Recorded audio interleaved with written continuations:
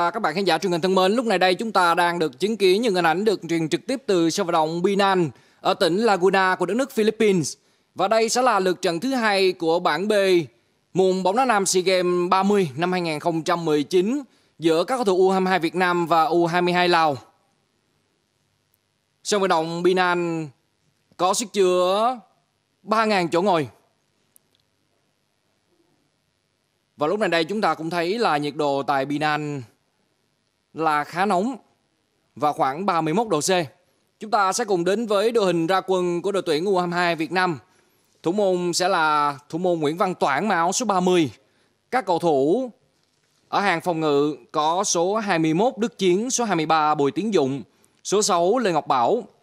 Ở phía trên, bên cánh phải sẽ là số 4 Hồ Tấn Tài, bên trái là số 5 Đoàn Văn Hậu. Cặp tiền vệ trung tâm sẽ là số 7 Triệu Việt Hưng và số 16 Đỗ Hùng Dũng. Ở phía trên chúng ta có bộ ba số 11 Trần Thanh Sơn, số 19 Nguyễn Quang Hải và số 22 là Nguyễn Tiến Linh. Như vậy ngày hôm nay huấn luyện viên Park Hang-seo của đội tuyển U22 Việt Nam đã có đến 8 sự thay đổi về mặt nhân sự so với màn so tài gặp U22 Brunei. Chỉ có 3 cái tên góp mặt ở trận đấu với U22 Brunei, có mặt trong trận đấu ngày hôm nay. Đó là Tấn Tài, Ngọc Bảo và Triệu Việt Hưng. Trọng tài chính là ông Sri Krishna Ramaswamy, trọng tài người Ấn Độ. Hai trợ lý trọng tài, một người Ấn Độ và một người Philippines.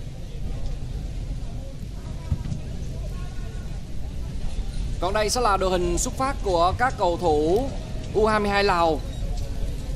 Chúng ta có cầu thủ mang áo số 2, đó là Bục Phi Thát Thủ môn áo số 18 là Say Savat. Các cầu thủ phòng ngự có số 15 Afisay, số 19 Kahan, số 6 Kittisak, số 20 Vana, số 16 Somlit và số 11 Leon Leon sẽ là bộ đôi tiền vệ trung tâm của U22 Lào. Ở hai cánh sẽ là số 9 Somsay và số 17 Bufachan và tiền đạo đội trưởng là số 7 Sukafone. Đây là ông Sundra Moti, huấn luyện viên trưởng của đội tuyển U22 Lào. Ông là người Singapore.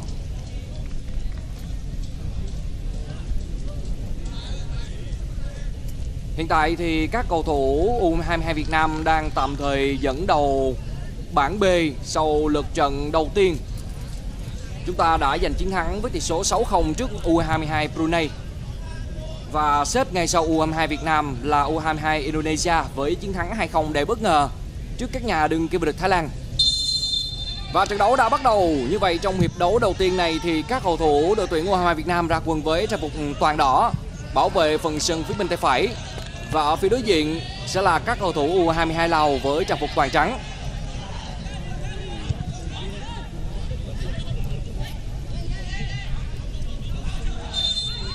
Trọng tài xác định đó là lỗi của đội trưởng Sukafone. Số 7 của U22 Lào chính là cái tên đáng chú ý nhất trong thành phần của họ. Anh được mệnh danh là Messi của Lào. Một đường truyền sai của Đức Chiến. Sukafone.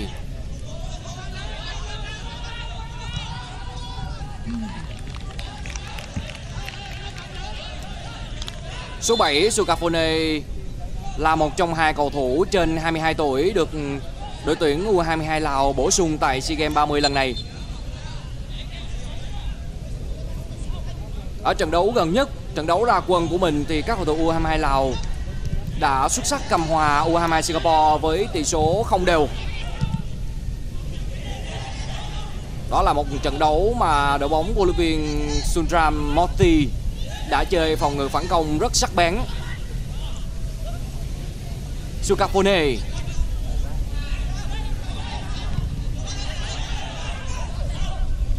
Quang Hải. Tiến Linh, Pha xử lý của Tiến Linh. Đã có tiếng còi của trọng tài.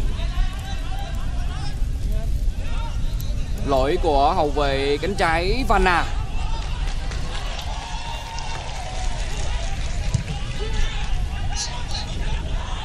Với đội hình xuất phát mà huấn luyện viên Sutra Moti đưa ra sân Binan ngày hôm nay thì nhiều khả năng các cầu thủ U22 Lào đang chơi với sơ đồ đó là 541. Đó là một sự thay đổi đáng kể so với trận đấu ra quân của họ gặp U22 Singapore.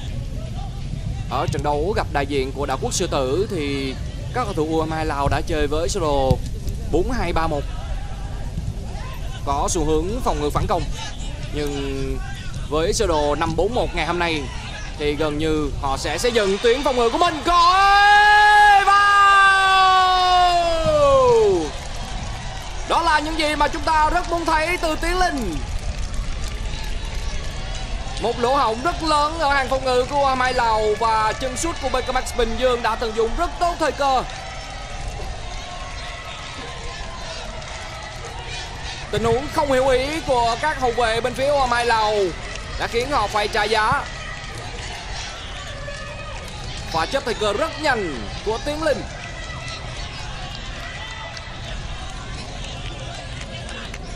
Vừa rồi đó là tình huống có phần lưỡng lự của trung vệ máu số 6 bên phía U22 Lào, đó là Kitisak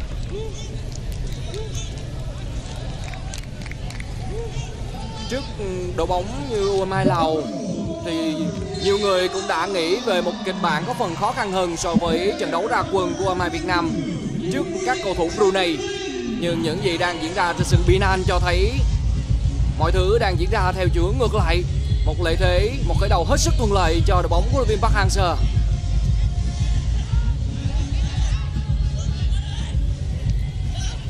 Hiện tại theo như những gì chúng tôi quan sát được từ sân Binan thì đội tuyển U22 Việt Nam đang được lợi gió Gió đang thổi khá mạnh trên sân Binan Nhưng ở hiệp đấu đầu tiên này thì các học trò của Việt Park Hang-seo đang có lợi về hướng gió. Văn Hậu.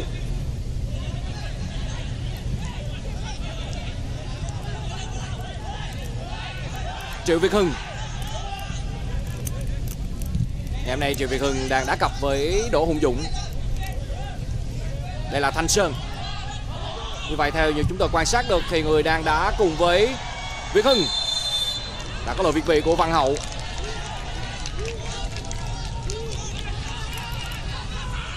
Hiện tại thì bộ đôi tiền vệ trung tâm của đội tuyển U22 Việt Nam đang là Triệu Việt Hưng và Trần Thanh Sơn. Bộ đôi rất hiểu nhau đến từ lò đào tạo của Hoàng Gia Lai. Trong khi đó, Đỗ Hùng Dũng sẽ chơi nhô cao cùng với Quang Hải ở phía trên đó là những sự bố trí và mặt nhân sự cũng có phần bất ngờ đến từ vị chiến lược gia người Hàn Quốc.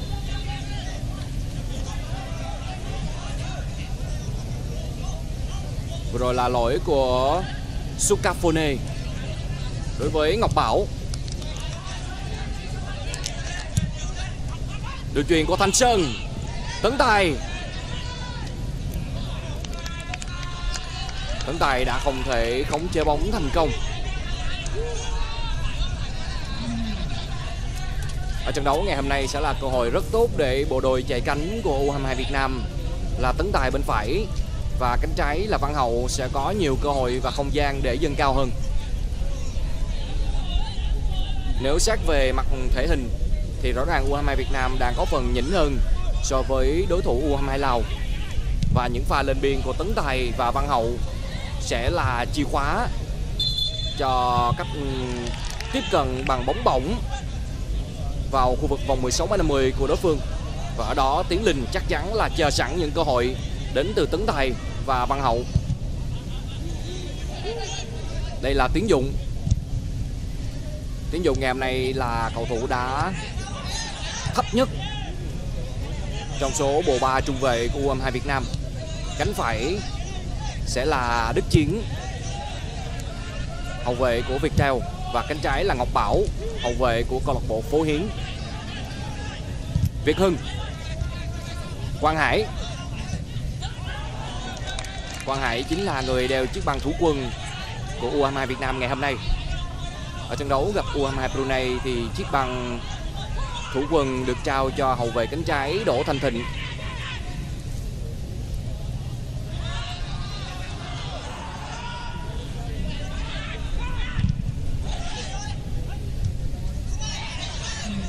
Quang Hải. Việt Hưng. Tiền vệ áo số 7 của U22 Việt Nam, Triệu Việt Hưng, cũng đã có cho mình một bàn thắng vào lưới của U22 Brunei. Thanh Sơn.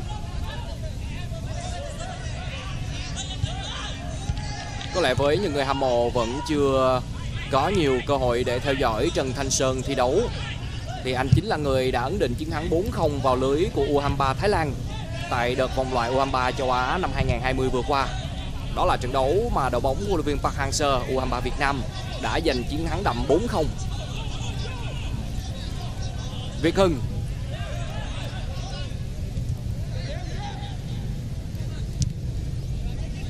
Sau khi có được bàn mở tỷ số thì các cầu thủ áo đỏ đang chủ động chơi chậm bởi vì họ biết rằng các cầu thủ U22 Lào đang chơi lùi khá thấp trên phần sân nhà và họ buộc phải kéo giãn đội hình của đối phương.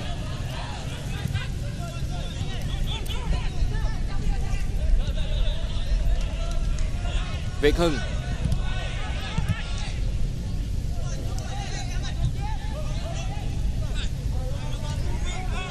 Phải thường xuyên lùi về, đứng gần với Việt Hưng. Đường truyền dành cho Quang Hải và đây là Tiến Linh.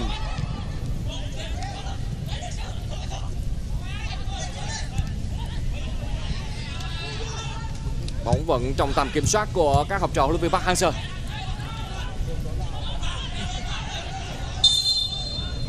Đã có tình huống phạm lỗi của Tiến Linh.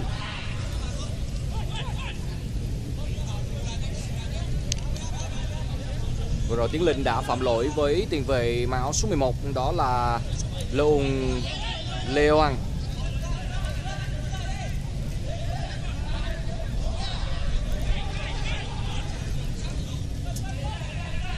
Đúng là ngày hôm nay U22 Việt Nam đã nhập cuộc với tư thế của một đội bóng được đánh giá cao hơn rất nhiều.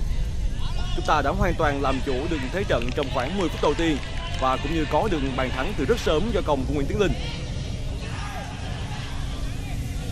U22 Việt Nam Lào đã phần nào có được khởi đầu thuận lợi trong trận đấu ra quân gặp U22 Singapore khi có được tỷ số hòa không đều. Tuy nhiên đó là trận đấu mà họ cũng đã bị dồn ép rất nhiều. Và nếu như các tiền đạo của Singapore chắc chiêu cơ hội của mình hơn thì tỷ số đã không là một kết quả hòa. Đây có thể xem là đường tấn công đầu tiên của các cầu thủ hai Lào trong trận đấu ngày hôm nay.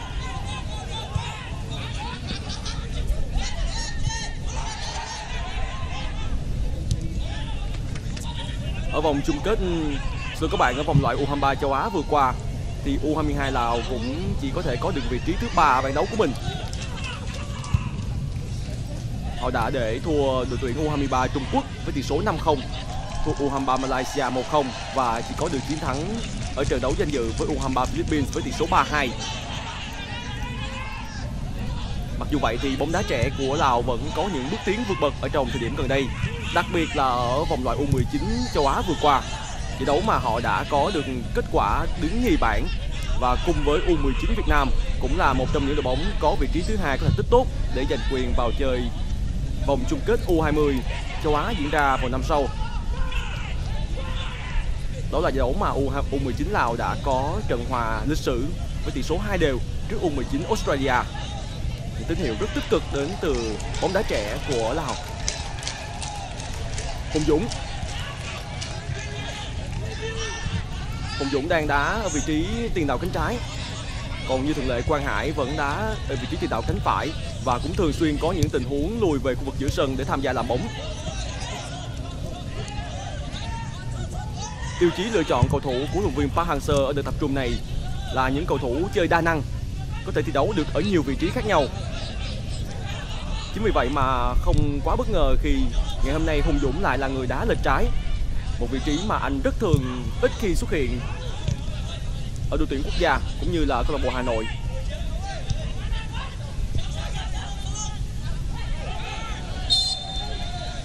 Thậm chí có những thời điểm mà Hùng Dũng còn đường đẩy lên nhô cao, đá như một tiền đạo thứ hai bên cạnh Tiến Linh. Với việc sơ đồ 343 đã quá quen thuộc của huấn luyện viên Park Hang-seo trong những trận đấu mang đến thành công đội tuyển Việt Nam ở các cấp độ đã khiến cho nhiều đối thủ bắt bài được lối chơi của ông. Và đây là thời điểm mà ông cần phải có những tính toán để điều chỉnh những chiến thuật khác nhau.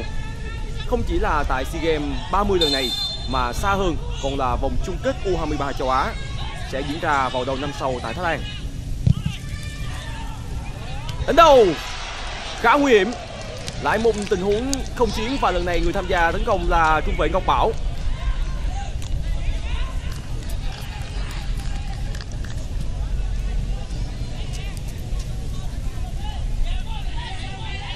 Ở trận đấu gặp U22 Brunei thì U22 Việt Nam đã có được rất nhiều cơ hội đến từ những pha không chiến, từ những quả đá phạt góc hay những quả đá phạt gián tiếp như vậy. Rõ ràng là với chiều cao tốt hơn so với U22 Lào, cũng như là những cầu thủ có khả năng chơi đầu tốt như Tiến Linh, cũng như là các cầu thủ thi đấu vị trí trung vệ, thì U22 Việt Nam hoàn toàn có cơ sở để tiếp tục thực hiện những miếng đánh tấn công này trong tiếp theo.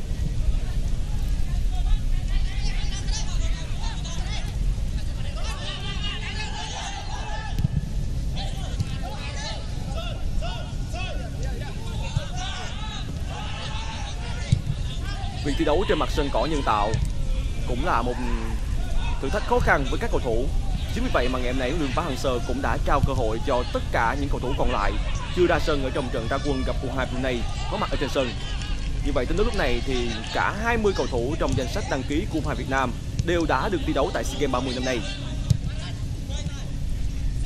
Đây cũng có thể xem là một điều rất hiếm thấy ở các đội tuyển U2 Việt Nam ở cái kỳ SEA Games trước. Quang Hải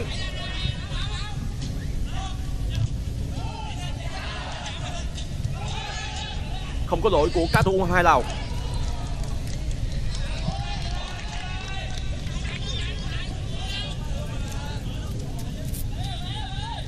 Lê Ngọc Bảo là một trong ba cái tên vẫn còn được giữ lại trong đường xuất phát của huấn luyện viên Park Hang-seo ngày hôm nay, cùng với tiền vệ trung tâm Triệu Việt Hưng và hậu vệ cánh phải Hồ Tấn Tài.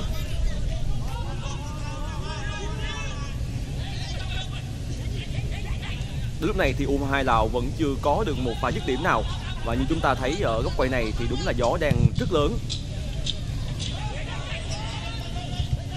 Cơn gió đã ảnh hưởng đáng kể đến pha phát bóng vừa rồi của thủ thành bên phía U22 Lào là Seisavat Hùng Dũng, Quang Hải.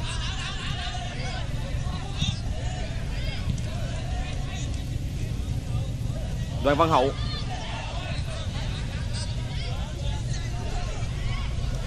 Văn Hậu sẽ góp mặt thi đấu tại SEA Games năm nay. Tuy nhiên ở vòng chung kết U23 châu Á thì hậu vệ trái này sẽ không thi đấu. Đó là thời điểm mà anh sẽ phải trở về câu lạc bộ chủ quản của mình là SC Heerenveen. Đội bóng đang chơi tại giải Eredivisie, giải hạng giải đấu cao nhất của đá Hà Lan.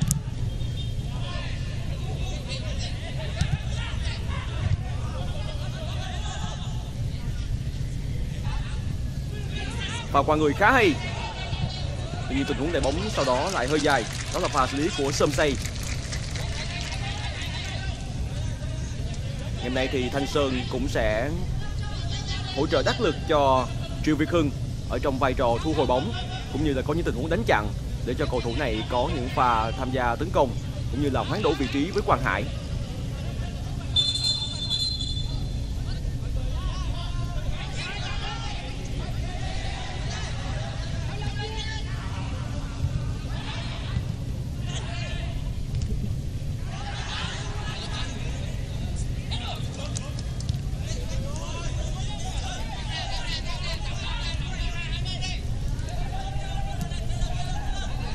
Bây giờ là Triệu Việt Hưng. Văn Hậu phối hợp với Hùng Dũng. Văn Hậu, Như vậy trước đó thì Hùng Dũng đã rơi vào thế việt vị.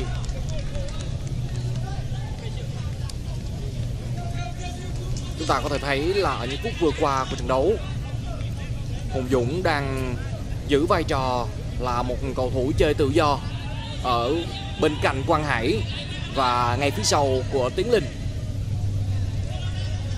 Vai trò của Hùng Dũng cũng sẽ rất đa dạng trong sơ đồ chiến thuật của U22 Việt Nam ở trận đấu ngày hôm nay. Ngoài nhiệm vụ tổ chức lối chơi cùng với Quang Hải thì vai trò của Hùng Dũng cũng sẽ lôi, lôi kéo các hậu vệ áo trắng của u hai lào để tạo khoảng trống cho Tiến Linh. Đường truyền dành cho Tiến Linh. Cơ hội thoát xuống, Tiến Linh. Cú sút vào. Rất đơn giản cho Nguyễn Tiến Linh. Vừa rồi thì bộ đôi của BKMX Bình Dương đã phối hợp để mang lại bàn thắng thứ hai cho U22 Việt Nam. Hồ Tấn Tài là người đã thực hiện đường truyền để Tiến Linh thoát xuống. Và Nguyễn Tiến Linh đã không bỏ qua cơ hội để đánh bại thủ môn Sesafat lần thứ hai trong trận đấu này. Cùng một góc sút và cùng một kết quả, đó là bàn thắng đã đến cho các cầu thủ áo đỏ U22 Việt Nam. Đó là tình huống để bắt bóng của cầu thủ Bufachan bên phía U22 Lào. Và ngay lập tức các cầu thủ U22 Việt Nam đã chuyển hóa từ phòng ngự sang tấn công rất nhanh. Lại một lần nữa lỗ hổng ở cặp trung vệ của U22 Lào đã bị Nguyễn Tứ Linh khai thác triệt để. Vậy cho đến thời điểm này thì bộ đôi tiền đạo của U22 Việt Nam tại SEA Games 30 năm 2019 ở Philippines, đó là Hà Đức Chinh và Nguyễn Tiến Linh, đã mang lại đến 6 pha lập công cho đội tuyển U22 Việt Nam. Đó là một tín hiệu rất vui dành cho vị chiến lược gia người Hàn Quốc. Huấn luyện viên Park Hang-seo chỉ đăng ký đúng hai tiền đạo trong danh sách 20 cầu thủ đến với Philippines lần này.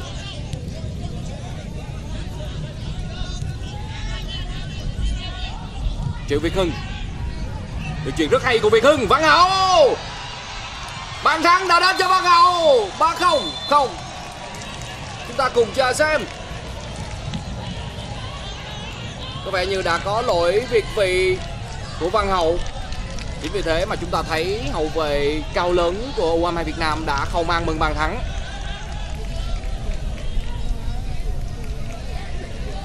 Ở góc quay này thì theo như chúng tôi nhận định thì Văn Hậu chưa việt vị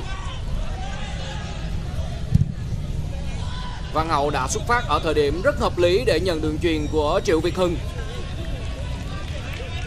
Ngay cả trọng tài biên trong tình huống vừa rồi cũng không phất cờ bảo việt vị, Mà đó là quyết định đến từ trọng tài chính. Một quyết định ờ, mang tính cảm tính của trọng tài chính. Và Văn Hậu đã không thể có được bàn thắng cho U22 Việt Nam nhưng thời gian trước mắt của trận đấu vẫn còn rất dài và với các vị trí của U22 Việt Nam thì chúng ta hoàn toàn có thể tiếp tục có cơ hội để ghi tên mình lên bảng tỷ số. Bàn tỷ số là 2-0 của Tiến Linh đã cho thấy được đẳng cấp vượt trội của U22 Việt Nam so với đối phương. Tiến Linh trong một pha bứt tốc của mình, đã loại bỏ được hai cầu thủ phòng ngự bên phía U22 Lào.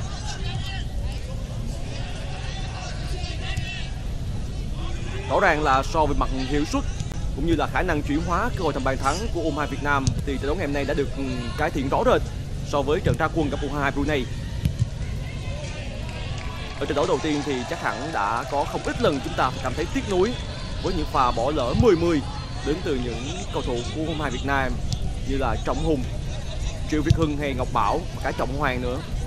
Tuy nhiên ngày hôm nay đến lúc này chúng ta vẫn đang làm tốt ừ, khâu chuyển hóa cơ hội bàn thắng của mình Hùng Dũng đã không theo kịp đường truyền vừa rồi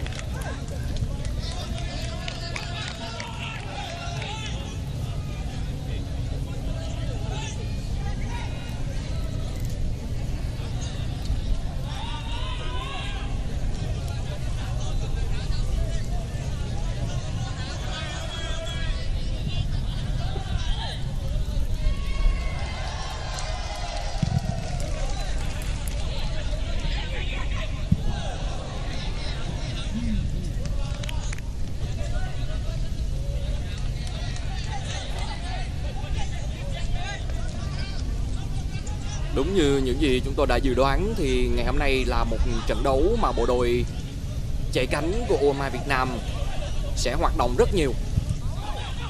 Và ít nhiều cho đến thời điểm này thì cả Văn Hậu và Tấn Tài đều đã để lại dấu ấn trong lưới chơi của U22 Việt Nam.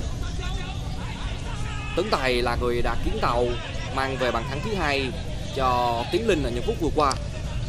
Và vừa rồi thì nếu như trọng tài chính xác hơn thì Văn Hậu cũng đã có được cho mình một bàn thắng.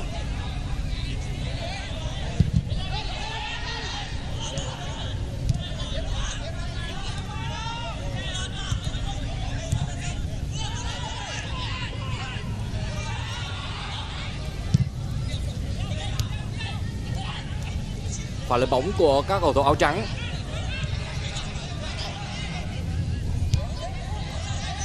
Samlit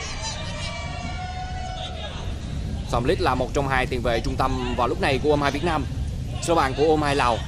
Nhưng vừa rồi Somlit đã để mất bóng.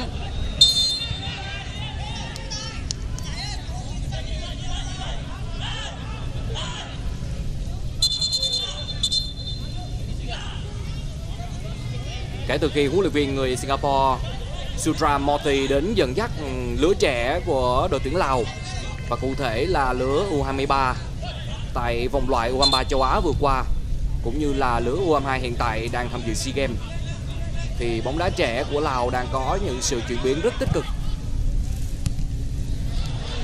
Chúng ta cùng xem pha lên bóng này, Hùng Dũng. Vẫn còn Văn Hậu.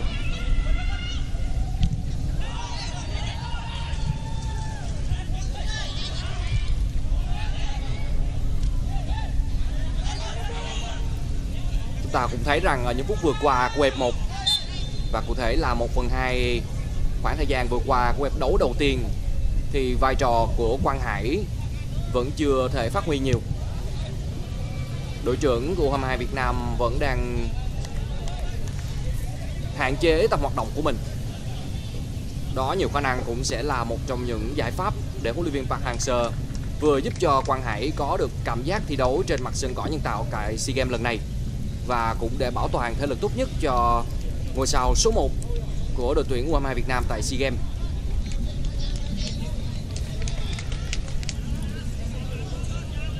Cầu thủ đang bị đầu bên phía U22 Lào, đó là số 16 Somlit.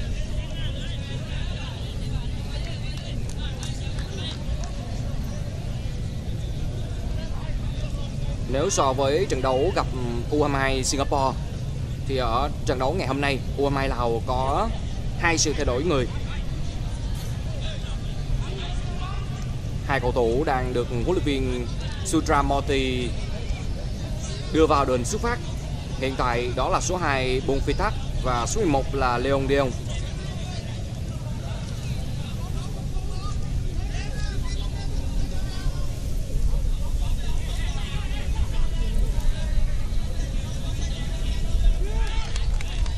Cùng thời điểm diễn ra trận đấu giữa U22 Việt Nam và U22 Lào là cuộc so tài giữa U22 Thái Lan và U22 Brunei. Và đến lúc này thì U22 Thái Lan vẫn chưa có được bàn thắng nào vào lưới đối thủ được xem là yếu nhất bảng. Tỷ số trận đấu vẫn đang là không đều. Rõ ràng là áp lực rất lớn đang được dành cho thầy trò huấn luyện viên Akira Nishino sau thất bại 0-2 trước U22 Indonesia ngày ra quân. Thậm chí, Thái Lan đã từ chối tiếp xúc với giới truyền thông để chia sẻ về thất bại đó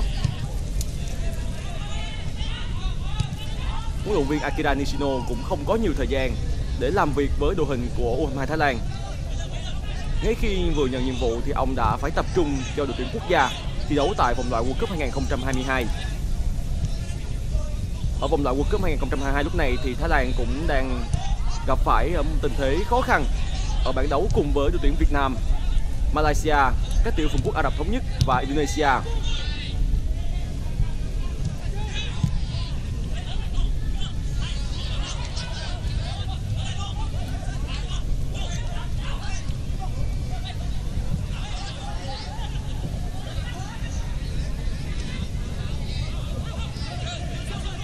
Từ đây đến thời điểm đầu năm sau sẽ là giai đoạn mà bóng đá Việt Nam có rất nhiều giải đấu quan trọng để tham gia. Ngay sau kỳ SEA Games 30 này kết thúc thì các đội cầu thủ của U23 Việt Nam sẽ tiếp tục tham dự giải đấu U23 châu Á tại Thái Lan. Giải đấu mà chúng ta cũng đang là những nhà đương kim Á quân. Đội tuyển Việt Nam sẽ nằm ở bảng D cùng với các đội tuyển Cộng hòa Dân chủ Nhân dân Triều Tiên, Jordan và các tiểu vương quốc Ả Rập thống nhất ta tiếp tục theo dõi một cơ hội tấn công dành cho các thủ Việt Nam. Đó là pha đánh đầu của Tiến Linh. Tuy nhiên Tiến Linh đã không có được vị trí thực sự thuận lợi để tung ra một đánh đầu như ý.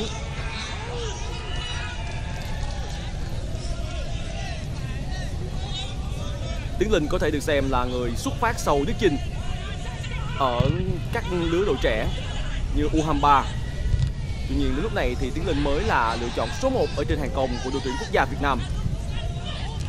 Ở V-League 2019 vừa qua thì tiền đạo này cũng đã ghi được 7 bàn thắng cho câu lạc bộ BKMX Bình Dương. Và sau 12 trận thi đấu cho đội tuyển quốc gia, anh cũng đã có được 4 pha lập công. Lần gần nhất Tiến Linh ghi bàn cho tuyển Việt Nam chính là bàn thắng duy nhất vào lưới các tiêu của đội thống nhất. Một bàn thắng rất đậm cấp để giúp chúng ta có được chiến thắng 1-0 ở vòng loại World Cup 2022.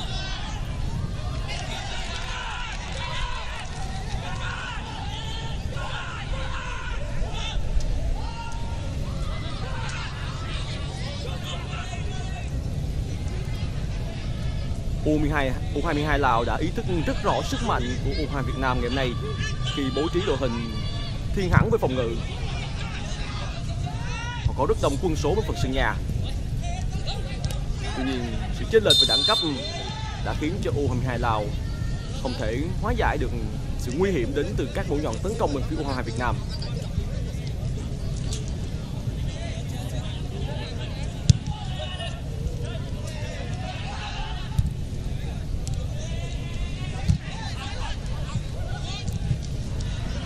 Văn Hậu thủ phối hợp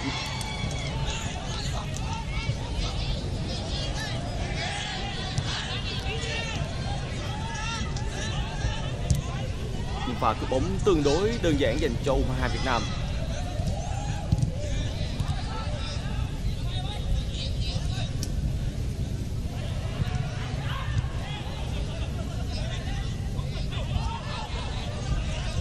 Như thường lệ thì các vị trí hàng công của U22 Việt Nam vẫn đang chơi bóng rất cơ động. Lúc này thì Quang Hải lại là người đang đá sang bên cánh trái.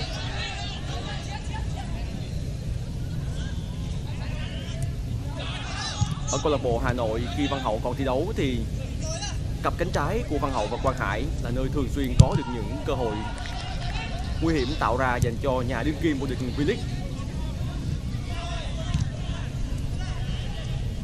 với khoảng cách hai bàn lúc này thì rõ ràng là U23 Việt Nam đang chơi rất thông dòng.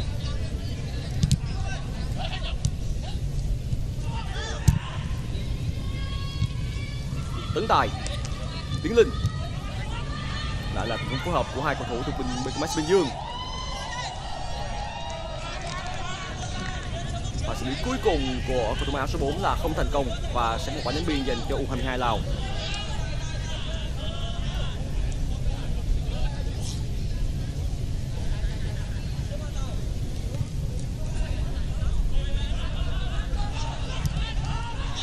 Đây là phút thứ 30 và U22 Việt Nam vẫn đang có cách biệt hai bàn dẫn trước.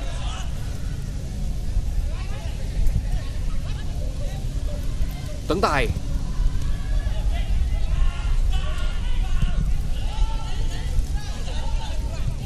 Đây là Tiến Dụng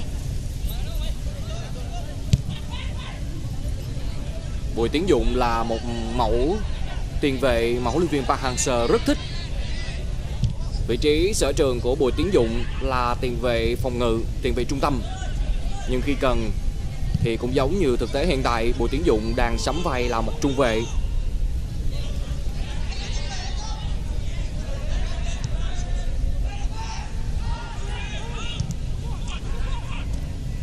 Chúng ta cũng đã từng thấy huấn luyện viên Park Hang-seo sử dụng vai trò của Đình Trọng cũng tương tự như Bùi Tiến Dụng vào lúc này.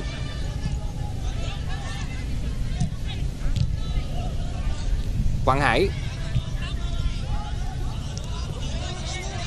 Đức Chiến. Cú sút từ rất xa của Đức Chiến. Sẽ có một quả phạt góc cho các cầu thủ áo đỏ.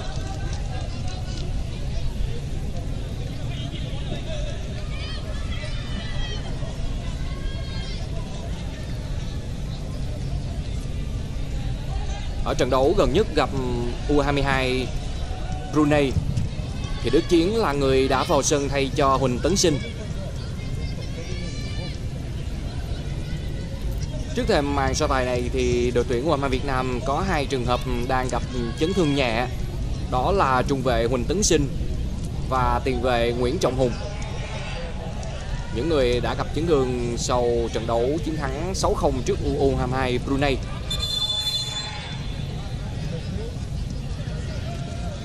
khoảng thời gian để cầu thủ hai đội được tiếp nước dưới cái nắng ở sân Binan.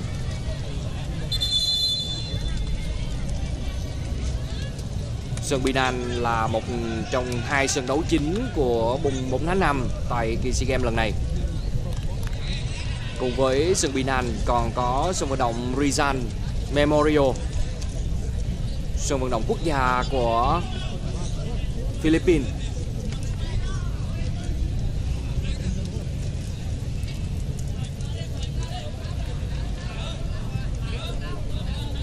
Cũng giống như Hà Đức Chinh, thì ở trận đấu ngày hôm nay thì Nguyễn Tiến Linh cũng có cơ hội ghi cho mình một cú hat-trick. Anh đã có hai pha lập công vào các phút thứ ba và 17. Bây giờ sẽ là quả phạt khốc và người thực hiện sẽ là Quang Hải.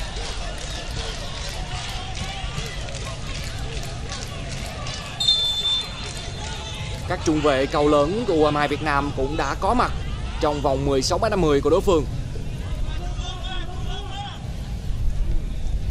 Quang Hải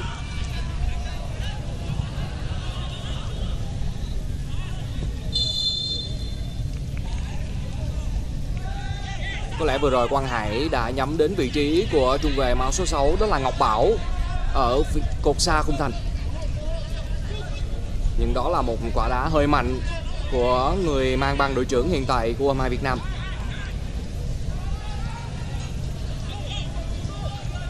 Một thế trận đang diễn ra hết sức thoải mái cho đội bóng của luyện viên Park Hang-seo.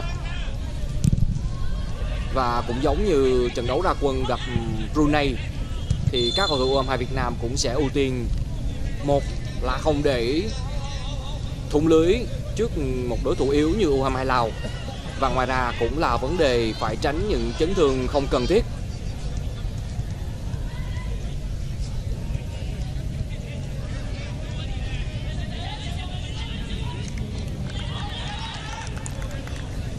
việc ban tổ chức môn bóng đá nam của kỳ SEA Games 30 năm 2019 lần này chỉ cho phép các đội tuyển được đăng ký tối đa 20 cầu thủ và có thêm một cầu thủ dự phòng đã khiến cho rất nhiều những đội tuyển tỏ ra không hài lòng.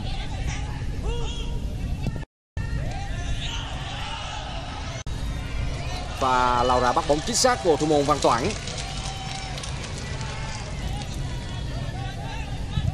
Trong những trận đấu vòng loại World Cup 2022 gần đây thì thủ môn Nguyễn Văn Toản là thủ môn số 3 của đội tuyển quốc gia Việt Nam.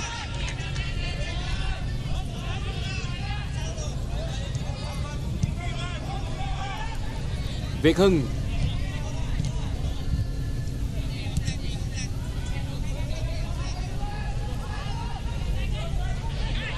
Tiếp tục là Triệu Việt Hưng. Thanh Sơn.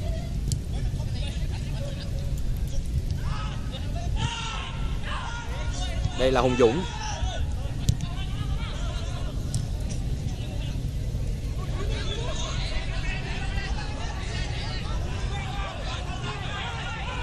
Quang Hải đang phải lùi về rất thấp.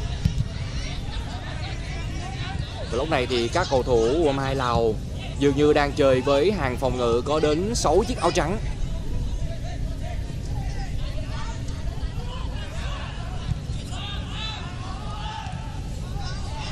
Quang Hải. Văn Hậu. Đường chuyền của Văn Hậu vừa rồi đã bị cầu thủ của Mai Lào bắt bài.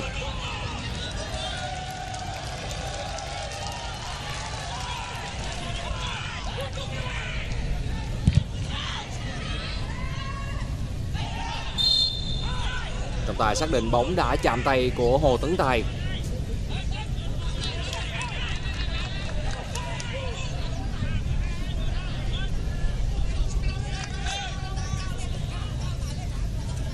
Ngày hôm nay Nguyễn Văn Toản được bắt chính thay cho Bùi Tiến Dũng.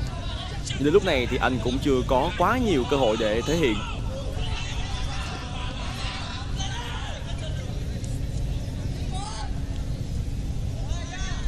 Với việc U22 Lào đang bố trí đội hình khá thấp với nhiều nhân sự ở hàng phòng ngự, thì U22 Việt Nam cũng đã có những phương án tiếp cận khá hợp lý sau những tình huống truyền bóng khu vực trung lộ để thu đội hình đối phương trở lại thì sẽ là những pha chuyển hướng tấn công sang hai cánh cho đoàn văn hậu và hồ tấn tài. Và hai cầu thủ này sẽ dùng tốc độ của mình để thực hiện những pha thoát xuống và trả ngược lại cho tuyến hai.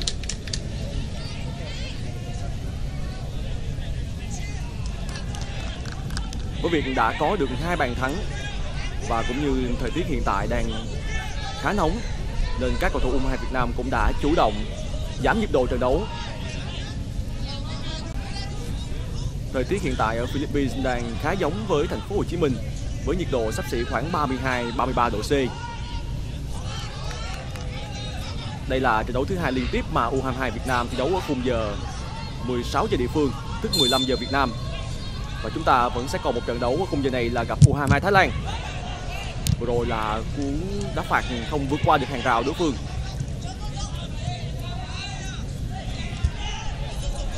Ở hai trận đấu tiếp theo của mình gặp U22 Indonesia và U22 Singapore thì U22 Việt Nam sẽ được thi đấu ở khung giờ 20 giờ địa phương, tức 19 giờ Việt Nam. Đó sẽ là một khung giờ lý tưởng hơn, mát mẻ hơn để cho các cầu thủ của chúng ta tránh tình trạng bị bào mòn thể lực. Vẫn là U22 Việt Nam, Văn Hậu. Hùng Dũng. Tấn Tài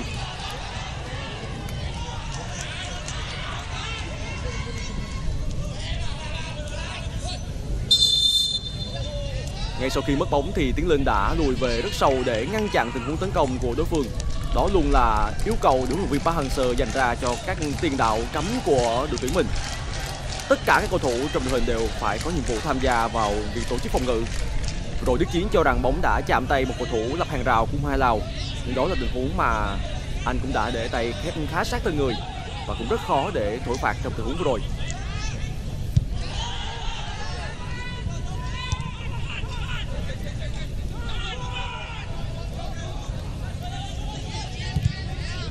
Trong các trận đấu trước khi SEA Games diễn ra ở các trận đấu thuộc vòng loại U23 châu Á cũng như là các trận đấu giao hữu thì huấn luyện viên Park Hang-seo thường xuyên xoay tua vị trí mang băng đội trưởng của U2 Việt Nam.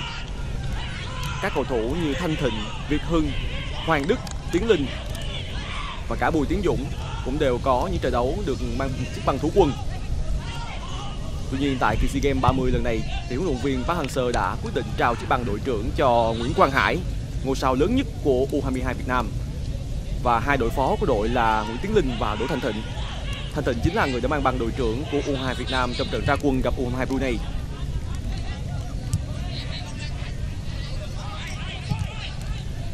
Văn Hậu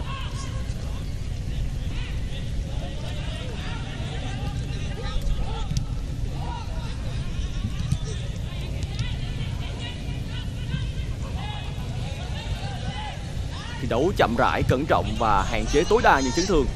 Đó chắc chắn là điều mà huấn luyện viên Park Hang-seo dặn dò các học trò của mình rất kỹ ở thời điểm này. Khoảng cách hai bàn là một khoảng cách tương đối thuận lợi để chúng ta có thể tiếp tục triển khai một thế trận chậm rãi và sẽ có những tình huống tăng tốc nhất định ở vài thời điểm để tiếp tục tìm kiếm bàn thắng.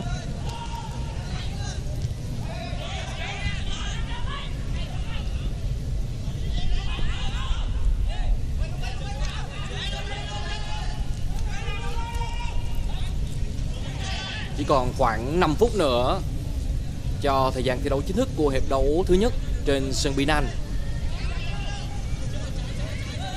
Và lúc này thì đội tuyển U22 Việt Nam dù vẫn đang chiếm giữ thế trận, nhưng họ cũng chơi một cách nhàn nhã và không quá vội vàng. Mặc dù đang nằm chung bảng B với những đối thủ mạnh như là U22 Indonesia hay U22 Thái Lan để tranh hai suất đi tiếp. Thế nhưng có lẽ ưu tiên của luyện viên Park Hang-seo cũng không phải là về việc cạnh tranh hiệu số. Đã có lỗi việt vị của Hùng Dũng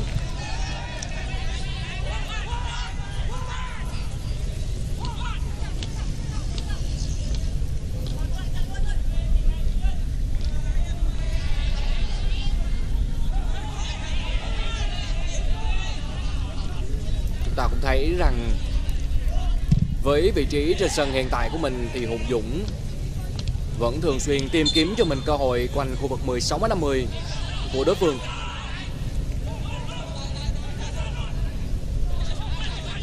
Sẽ không loại trừ khả năng nếu biết chết thời cơ trong khoảng thời gian còn lại của trận đấu và đặc biệt là hiệp đấu thứ hai thì Hùng Dũng cũng sẽ có cho mình một bàn thắng, ít nhất là một bàn thắng ở trận đấu ngày hôm nay.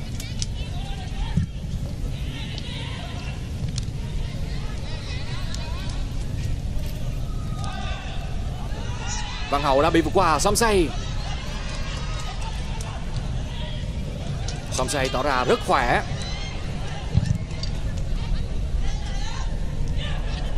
Vana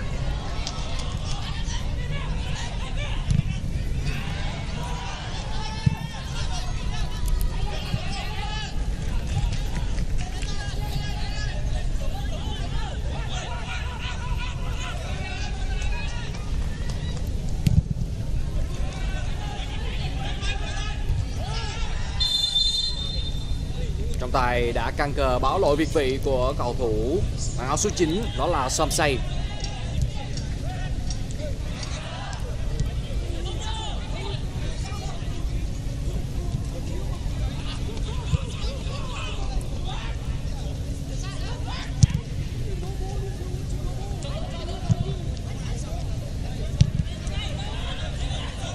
hiện tại, ở thời điểm đang, trận đấu đang diễn ra thì là vào khoảng 17 giờ giờ Philippines.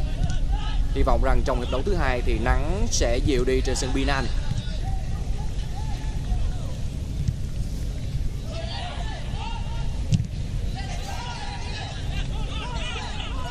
Đây là Đức Chiến.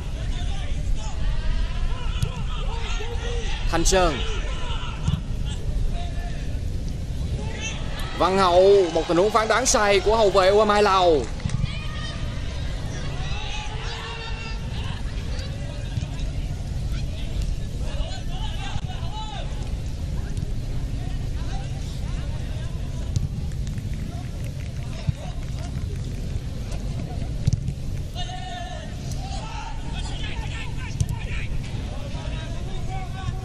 Sẽ có 2 phút bù giờ cho hiệp đấu đầu tiên.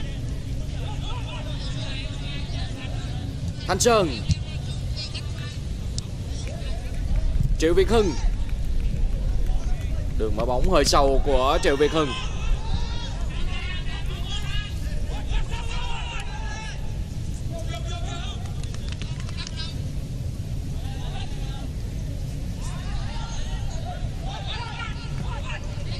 Trước trận đấu này thì huấn luyện viên Sutra Morty của U22 Lào đã phát biểu với giới truyền thông rằng ông tin tưởng là đội tuyển U22 Việt Nam sẽ đưa ra sân đội hình mạnh nhất của mình, và đặc biệt là các trụ cột như Quang Hải hay Văn Hậu trong màn so tài này. Và đó là một dự đoán rất chính xác của huấn luyện viên người Singapore.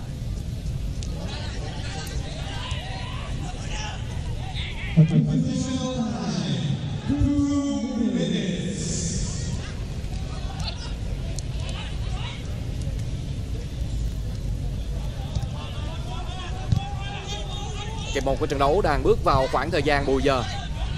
Và có vẻ như cách biệt hai bàn hiện tại đang là một kết quả thuận lợi Và khiến cho các học trò của luyện viên Park Hang-seo cảm thấy hài lòng.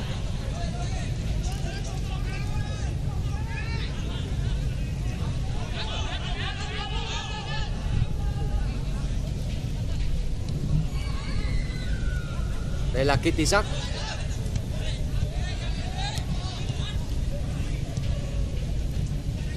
phối hợp giữa Quang Hải và Tiến Linh. Hùng Dũng cú sút từ xa.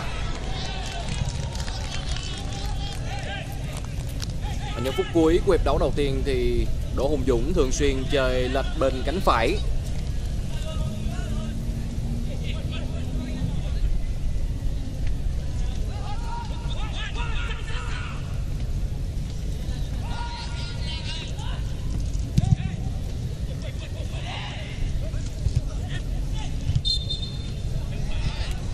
Thổ phạt đoàn Văn Hậu với tình huống bật nhảy tranh bóng của mình.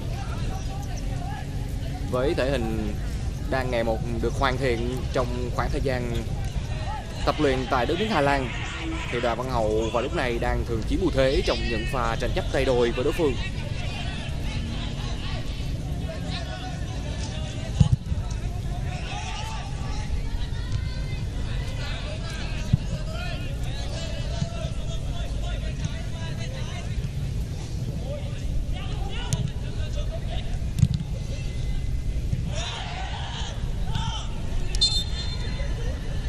Và lúc lúc này thì trọng tài chính người Ấn Độ đã cho hiệp đấu đầu tiên mang so tài U22 Việt Nam và U22 Lào khép lại Như vậy là hai bàn thắng của Nguyễn Tiến Linh chính là sự khác biệt của đội tuyển U22 Việt Nam sau 45 phút đầu tiên của trận đấu. Một khởi đầu hết sức thuận lợi cho đội tuyển U22 Việt Nam khi mà Nguyễn Tiến Linh đã tìm cho mình được cảm giác ghi bàn và đó là một thế trận rất thoải mái và làm chủ được thế trận trên sân Binan trong hiệp đấu đầu tiên vừa qua. Quý vị và các bạn thân mến, chúng ta sẽ cùng quay trở lại với sân vận động Binan ở tỉnh Laguna, Philippines để theo dõi hiệp đấu thứ hai màn so tài giữa đội tuyển U22 Việt Nam và U22 Lào. Đứng trước bóng vào lúc này đang là Nguyễn Tiến Linh, người đã lập cú đúp trong hiệp đấu đầu tiên để giúp cho đội tuyển U22 Việt Nam tạm thời dẫn trước với tỷ số 2-0. Trong hiệp đấu đầu tiên thì theo chúng tôi nghĩ lẽ ra tỷ số đã có thể là 3-0, ít nhất là 3-0 khi mà Đoàn Văn Hậu đã có một tình huống phá bảy việt vị và đưa bóng qua đầu thủ môn Seisavat. Nhưng trọng tài chính ông Krishna người Ấn Độ đã không công nhận bàn thắng khi bắt lỗi Văn Hậu đã rời vào thế việt vị. Mặc dù trước đó trọng tài biên đã không có bất kỳ động thái nào báo lỗi việt vị của hậu vệ bên phía U22 Việt Nam.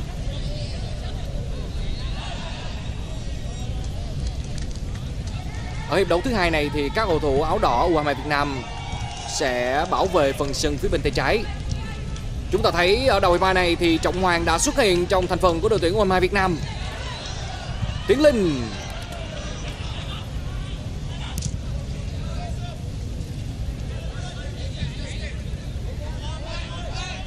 Chúng ta sẽ cùng chờ xem là Trọng Hoàng vào thay cho cầu thủ nào của U22 Việt Nam ở hiệp đấu này. Sự thay đổi người được huấn luyện viên Park Hang-seo lặp lại từ màn so tài với U22 Brunei.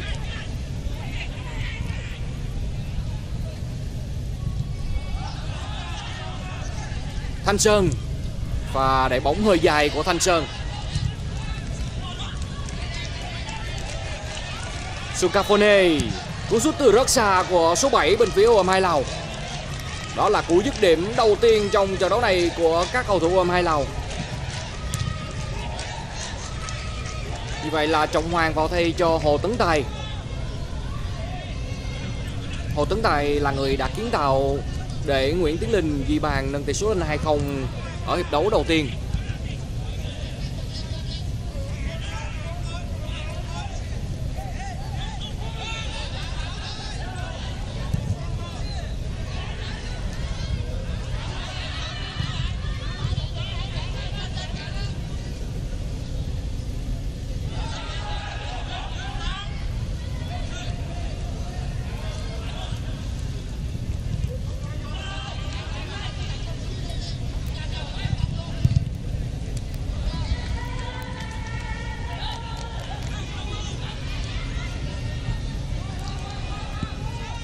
11 thì gần như cầu thủ máu số 7 của U23 Lào chỉ chủ yếu di chuyển bởi vì đơn giản là các cầu thủ U22 Lào gần như không có được bóng để triển khai lưới chơi. Quả phạt góc và Triệu Việt Hưng sẽ là người thực hiện quả phạt góc cho U22 Việt Nam. Đánh đầu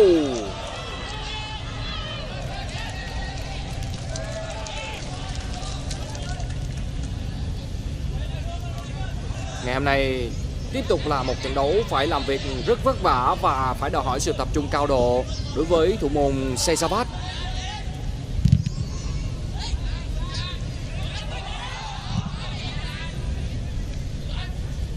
Và đổi ngược lại ở phía bên kia thì người đồng nghiệp của anh đó là thủ môn Nguyễn Văn Toản, đang có một trận đấu rất nhẹ nhàng.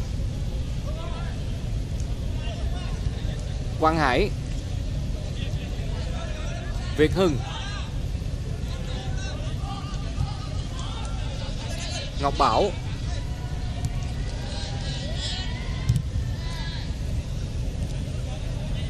Đây là Đức Chiến.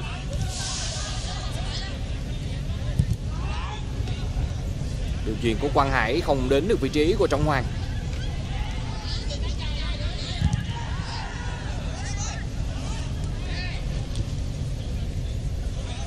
Một đường truyền rất dài lên cho số 7 Sukafone khi mà đội hình của Mai Lào phải lùi rất thấp trên phần sân nhà. Chủ yếu họ đang chơi với hệ thống sơ đồ phòng ngự có đến 6 hậu vệ trong hiệp đấu đầu tiên.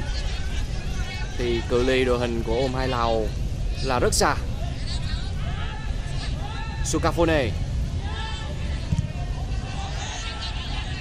Cầu thủ áo số 7 của ôm hai Lào, Sukafone Cầu thủ được ừ, đặc biệt danh đó là Messi Lào đang chơi bóng ở đất nước Thái Lan, trong áo của câu lạc bộ Prachuap.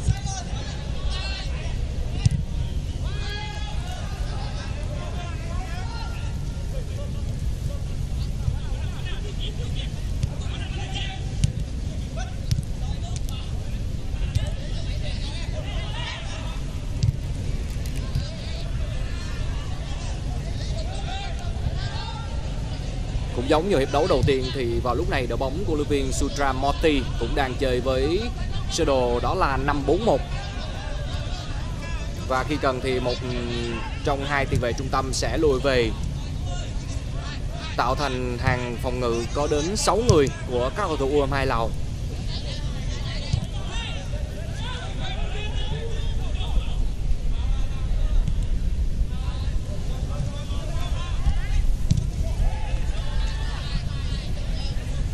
Đức Chiến.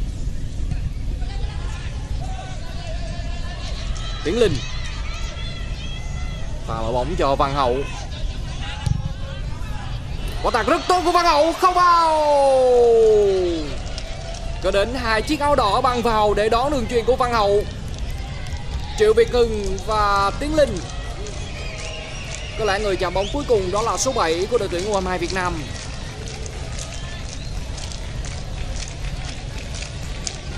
Và chạm bóng bằng chân không thuận của Việt Hưng. Việt Hưng đang được chơi nhô cao.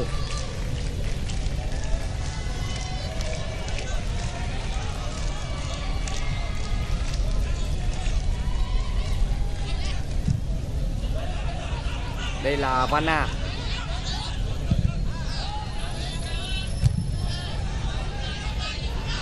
Đức Chiến.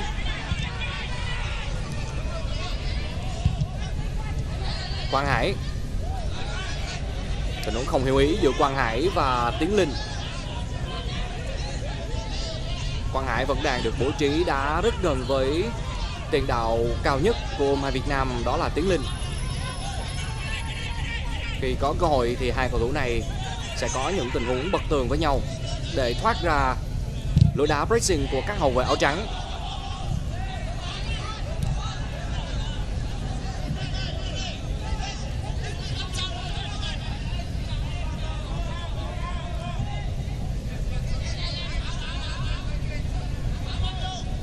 Sẽ có đôi lúc tín hiệu đường truyền từ Philippines về Việt Nam không được tốt. Mong quý vị khán giả thông cảm. Văn Hậu. Văn Hậu, pha đột phá của Văn Hậu Cú rút không vào?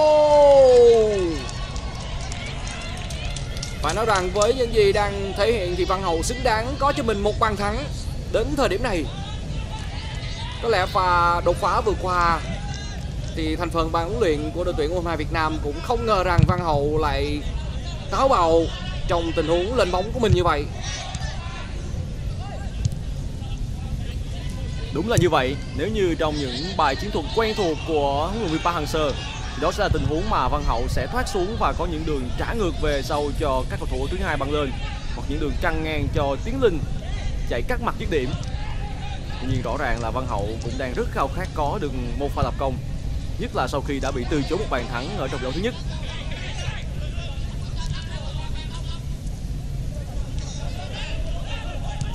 U22 Lào không phải là một đối thủ quá mạnh và các cầu thủ hai Việt Nam hoàn toàn có cơ hội để có thêm bàn thắng hung dũng. Bàn thắng thứ ba đến với các cầu thủ U22 Việt Nam và người lập công là Đỗ Hùng Dũng, một trong hai cầu thủ trên 22 tuổi được bổ sung vào đội hình của huấn luyện viên Park Hang-seo. Các trụ cột của đội tuyển quốc gia Việt Nam đã lên tiếng trong trận đấu ngày hôm nay. Hiệp 1 là cú đúp của Tiến Linh. Còn đây là pha phối hợp bất tường giữa Quang Hải và Hùng Dũng. Hai cầu thủ đã quá hiểu nhau, những người thi đấu cùng nhau trong máu câu lạc bộ Hà Nội và cũng như là đội tuyển quốc gia. Thêm một pha dứt điểm lạnh lùng nữa đến từ các chân sút của U22 Việt Nam. Rõ ràng là khả năng chuyển hóa cơ hội thành bàn thắng của U22 Việt Nam ngày hôm nay đã được cải thiện đáng kể.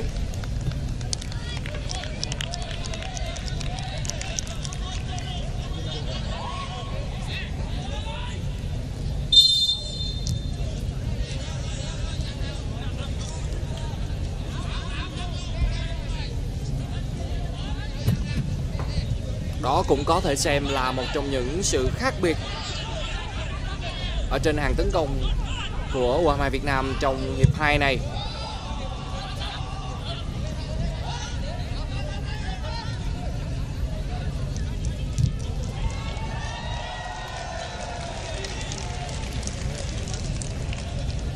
Như vậy với tình huống ghi bàn vừa qua và hành động ăn mừng bàn thắng, đó là ôm quả bóng và đu đưa thì Đỗ Hùng Dũng đã dành tặng bàn thắng vừa qua, làm quà cho đứa con đầu lòng của mình.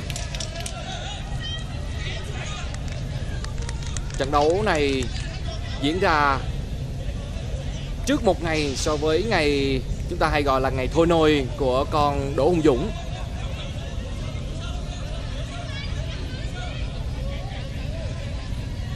Trước đó vào ngày 29 tháng 10 thì vợ chồng Đỗ Hùng Dũng đã đón đứa con trai đầu lòng tại Hà Nội.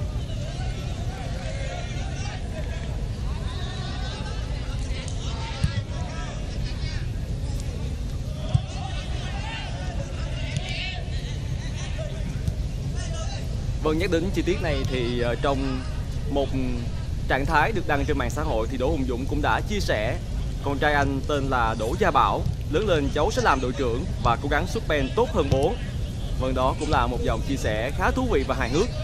Đó là tình huống mà Hùng Dũng muốn nhắc đến và bỏ lỡ quả penalty đáng tiếc của anh trong trận đấu gặp Indonesia ở vòng loại World Cup 2022 Tiếp tục là cơ hội dành cho các cầu thủ U23 Việt Nam. Tiến Linh cơ hội làm hat-trick Và dĩ nhiên là với một chân sút lạnh lùng như Tiến Linh thì anh không thể bỏ qua cơ hội này.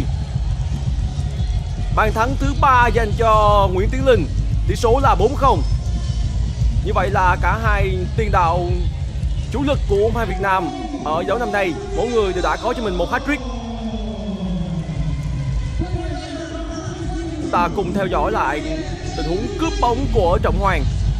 Cầu thủ được tung vào sân trong hai. Và một đường truyền rất vừa tầm để tiến linh băng xuống.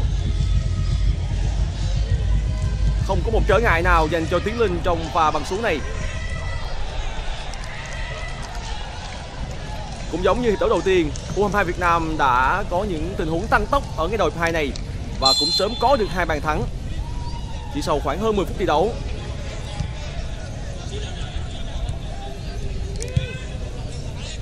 Vùng hai Lào vẫn là những đối thủ yếu và hàng thủ của chúng ta vẫn cần được kiểm chứng về năng lực ở trong những trận đấu tiếp theo, đặc biệt là trận đấu vào ngày 1 tháng 12 gặp U22 Indonesia.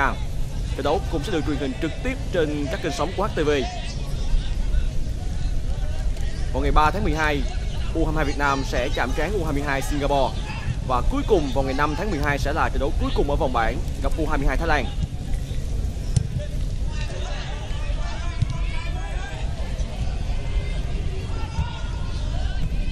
Với việc lịch thi đấu được gặp các đối thủ yếu dần, mạnh dần, rồi sau đó là đối thủ mạnh nhất, được dự đoán là mạnh nhất ở trận cuối cùng. Đó là một lịch thi đấu được xem là thuận lợi cho U22 Việt Nam tuy nhiên vòng bảng, chúng ta vừa được theo dõi lại một tình huống chọc khe nữa của Quang Hải. Xác là một đường bấm bóng cho Quang Hải, của Quang Hải dành cho Tiến Linh.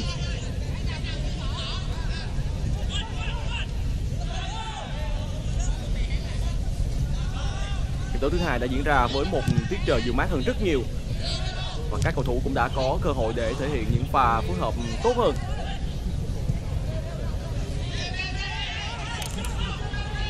Cả hai cầu thủ trên 22 tuổi của đội Park Hang-seo đều đang có mặt ở trên sân lúc này sau khi Trọng Hoàng tung vào sân trận 2 và cả năm trụ cột của U2 Việt Nam thi đấu cho đội tuyển quốc gia hiện tại là Trọng Hoàng, Tiến Linh, Quang Hải, Hùng Dũng, Văn Hậu cũng đã góp mặt đây cũng có được xem là một trong những đội hình mạnh nhất của U22 Việt Nam. Nhiều khả năng trong khoảng thời gian tiếp theo, những cái tên như Hoàng Đức, cũng có thể sẽ được cướp mặt Hoàng Đức cũng là một trong những cầu thủ thuộc biên chế của đội tuyển quốc gia và cũng là một trong những trụ cột của đội tuyển U23 Việt Nam trong những chiến dịch vừa qua.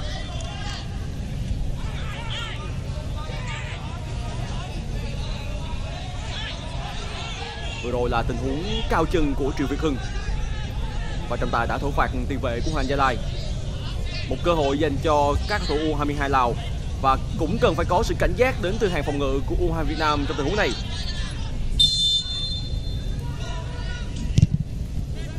Đến đâu? Như vậy là đã có bàn thắng dành cho U22 Lào. Đúng như chúng tôi đã cảnh báo, U22 Lào sẽ cố gắng triệt để tận dụng những tình huống cố định của mình.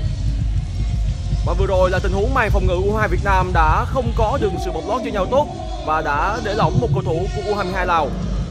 Đó là pha dứt điểm của cầu thủ áo số 19 Kahan, người thi đấu ở vị trí trung vệ của U22 Lào.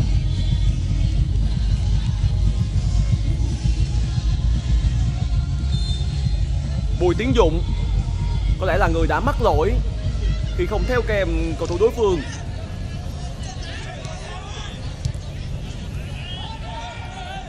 Một bàn thua có thể sẽ không ảnh hưởng đến kết quả trực tiếp của trận ngày hôm nay nhưng chắc chắn sẽ khiến cho huấn luyện viên Park Hang-seo cảm thấy lo lắng và ngay lập tức cần phải có những điều chỉnh, những nhắc nhở đối với các học trò của mình, đặc biệt là những cầu thủ hàng phòng ngự. Đó gần như là cơ hội rõ rệt đầu tiên của U22 Lào và ngay lập tức họ đã có được bàn thắng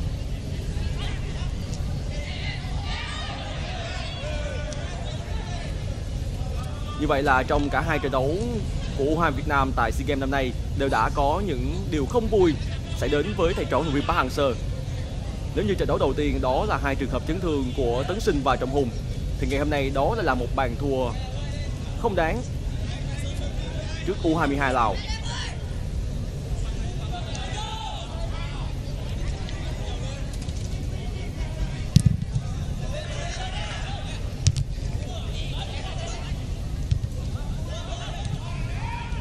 U22 Việt Nam được đánh giá là ứng cử viên nặng ký nhất cho chiếc huy chương vàng ở SEA Games năm nay và đội hình của chúng ta cũng có những cầu thủ thực sự chất lượng so với phần còn lại của giải đấu. Nhưng nếu như không có được sự chắc chắn vững vàng ở hàng phòng ngự, yếu tố cốt lõi trong đội hình của huấn luyện viên Park Hang-seo thì trước những đối thủ như U22 Indonesia, Malaysia, Myanmar hay Thái Lan, ta hoàn toàn có khả năng bị đánh bại. Và vào bóng rất nguy hiểm của cầu thủ bên phía U22 Lào và chiếc thẻ vàng đã được trọng tài rút ra dành cho cầu thủ mang áo số 6 Kitty Sắc.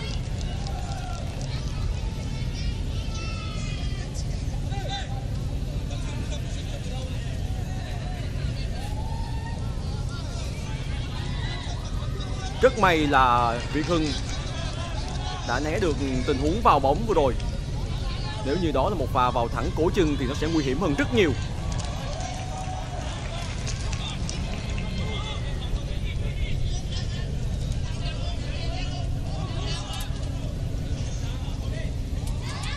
Bây giờ là lúc mà U2 Việt Nam cần phải thi đấu chậm rãi trở lại. Giảm nhịp độ trận đấu, Bởi vì U2 Lào đang rất hưng phấn sau khi có được bàn rút ngắn tỷ số vừa qua. Kitty Sắc Phong là người phải nhận thẻ vàng. Bây giờ là sẽ qua đá phạt của Hùng Dũng.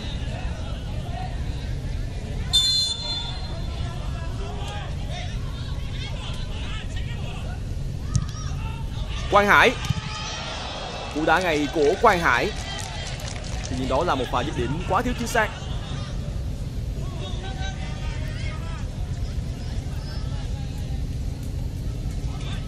Quang Hải là người đã thi đấu rất nhiều trong năm 2019 vừa qua. Ở cả màu áo đội tuyển quốc gia, đội tuyển U23 cũng như là câu lạc bộ Hà Nội. Mùa giải vừa qua là một giải mà câu lạc bộ Hà Nội cũng đã tiến rất sâu ở AFC Cup. Khi vào đến trận chung kết liên khu vực gặp câu lạc bộ 25 tháng 4 của Cộng hòa Dân chủ Nhân dân Triều Tiên cúp quốc gia thì họ cũng vào đến trận chung kết đã có thời điểm Quang Hải gặp chấn thương và mang đến những nỗi lo nhất định cho người hâm mộ đá Việt Nam. Trọng Hoang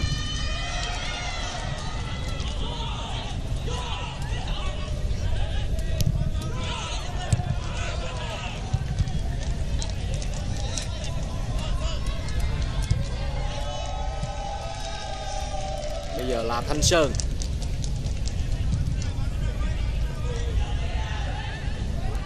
So với người đá cặp ở khu vực trung tuyến Triệu Việt Hưng thì Thanh Sơn đúng là phải đá thấp hơn và làm nhiệm vụ thu hồi bóng.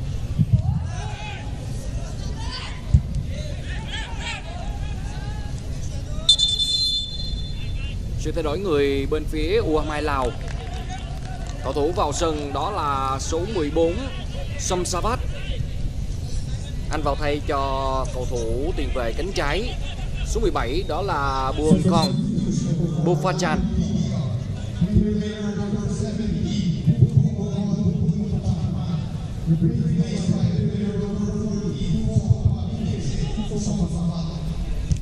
Có lẽ đó là một sự thay đổi của huấn luyện viên Moti nhằm chám lại hành lang cánh trái của UM2 Lào. Cánh mà hiện tại Trọng Hoàng đang khoét rất sâu.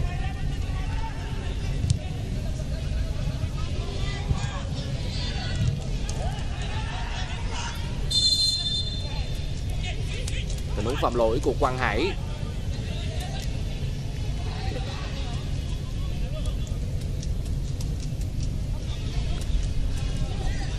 Theo những thống kê thì à, Quang Hải trong năm 2019 đã chơi tổng cộng là 57 trận đấu trong cả màu áo đội tuyển quốc gia và câu lạc bộ Hà Nội. Trong đó anh góp mặt ở tất cả 15 trận đấu của đội tuyển quốc gia và U23 Việt Nam và thêm 42 trận đấu trên tổng số 46 trận của câu lạc bộ Hà Nội.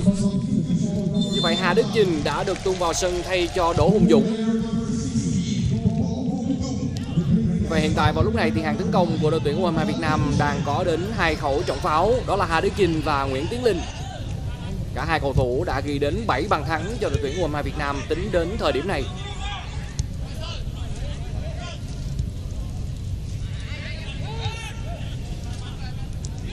Hùng Dũng cũng đã hoàn thành nhiệm vụ của mình. Đây là Đức Chinh, pha chạm bóng đầu tiên của Đức Chinh.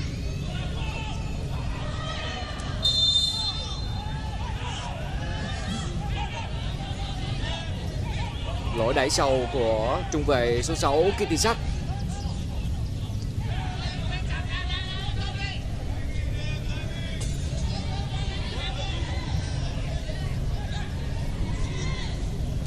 không có gì phải bàn cãi về tình huống phạm lỗi này của hậu vệ bên phía U22 Lào. Đây có thể sẽ là cơ hội cho những cầu thủ chơi đầu tốt như Hà Đức Trình cầu thủ vừa vào sân thay người.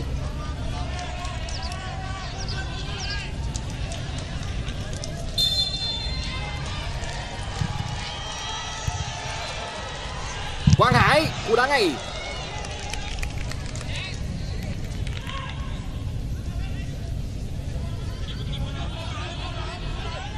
Với bản thân Quang Hải thì anh cũng đang rất khao khát có được bàn thắng đầu tiên tại kỳ SEA Games 30.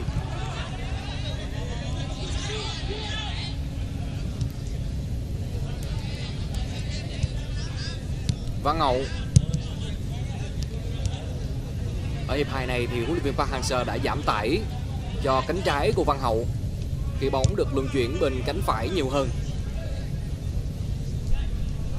Trong hiệp 1 đó là khoảng thời gian mà Văn Hậu đã chơi nhô cao và thường xuyên có những tình huống phối hợp với các đồng đội phía trên. Thanh Sơn. Tiến Linh. Quyết định rất nhanh của tiền đạo máu số 22 của đội tuyển U22 Việt Nam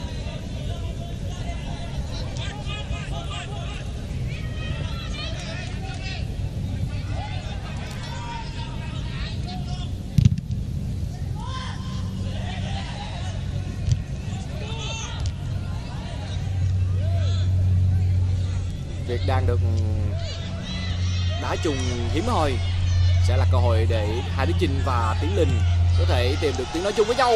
Đây là Tiến Linh. Được truyền cho Hà Đức Chinh, không được.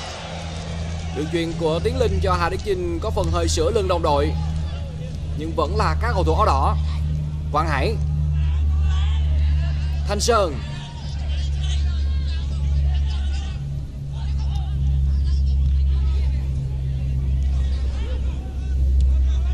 khi lên tham gia tấn công. Thì ở phần sân nhà vẫn luôn có ít nhất là ba cầu thủ áo đỏ.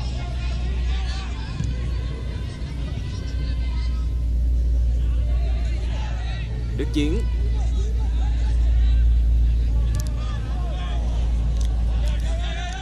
Vừa rồi là đường truyền của tiền vệ Thanh Sơn.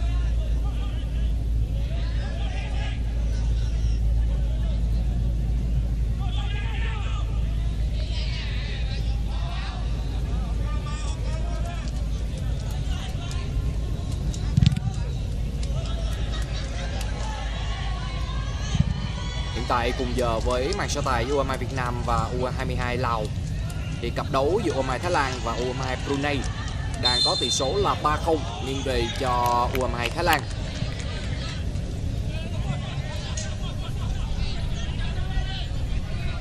Vừa rồi trọng tài xác định đó là tình huống phạm lỗi của trung vệ Đức Chiến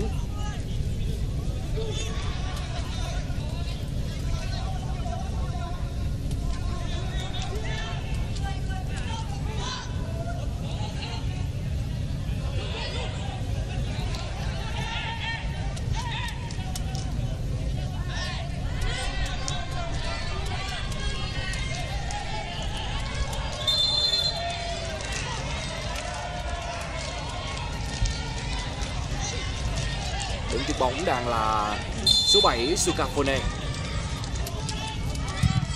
Cú đá thẳng.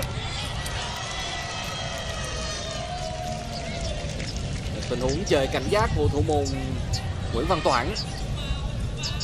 Nguyễn Văn Toản là thủ môn có thể hình tốt nhất hiện tại của đội tuyển U22 Việt Nam. Thành cao 1m85 và đang thuộc biên chế của câu lạc bộ Hải Phòng trong những trận đấu gần đây của đội tuyển quốc gia Việt Nam tại vòng loại World Cup 2022 thì Nguyễn Văn Toản thường được triệu tập lên với vị trí thủ môn số 3 sau Đặng Văn Lâm và Tuấn Mạnh.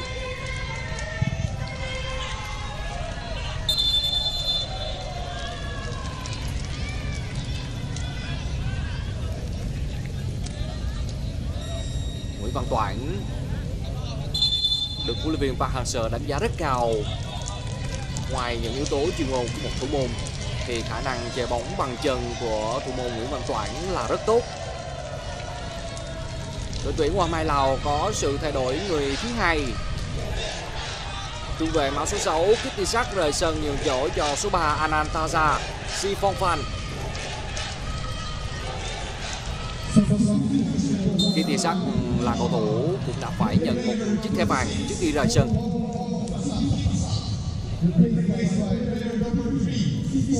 Thanh Sơn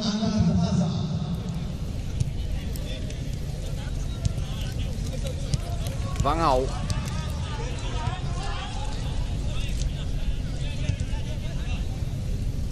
Quang Hải.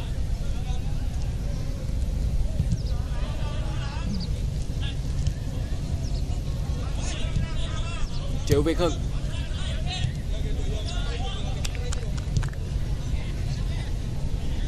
Ba tiền vệ trung tâm của đội tuyển U22 Việt Nam vào lúc này đó là Thanh Sơn, Triệu Việt Hưng và Quang Hải đang tạo thành một tam giác ở khu vực giữa sân.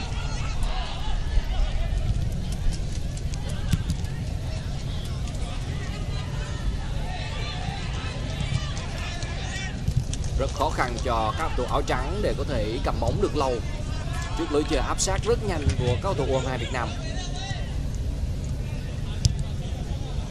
Thanh Sơn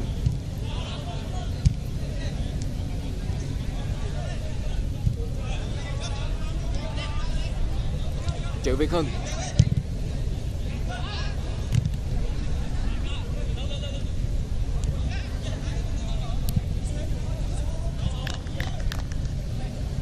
Vẫn là các cầu thủ áo đỏ, Đây là Triệu Việt Hưng. Sẽ có quả phạt góc dành cho đội tuyển U23 Việt Nam. Vừa rồi trong một tư thế có phần hơi bất lợi khi nhận đường truyền có phần sâu của Triệu Việt Hưng nhưng Văn Hậu vẫn nỗ lực để tìm kiếm một quả phạt góc cho đội nhà.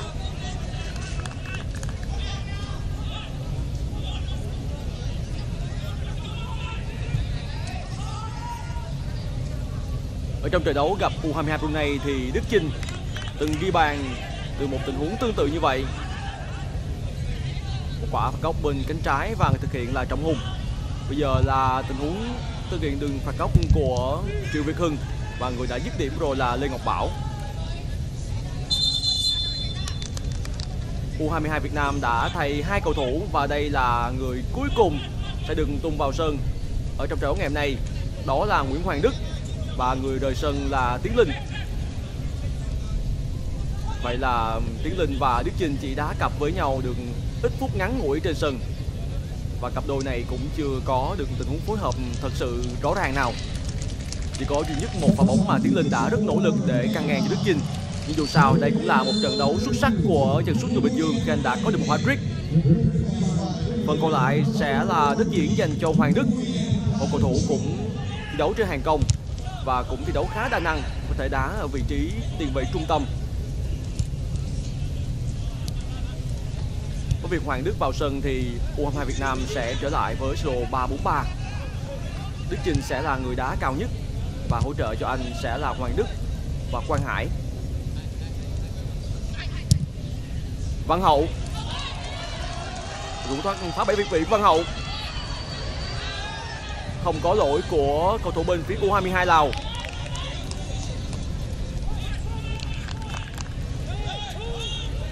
Và bóng mà có vẻ như hậu vệ của Việt Nam đã hơi chủ quan và trở nên thất thế trong tình huống tranh chấp với U22 Lào. Bon Thát là người đã tranh chấp tốt trong tình huống vừa rồi.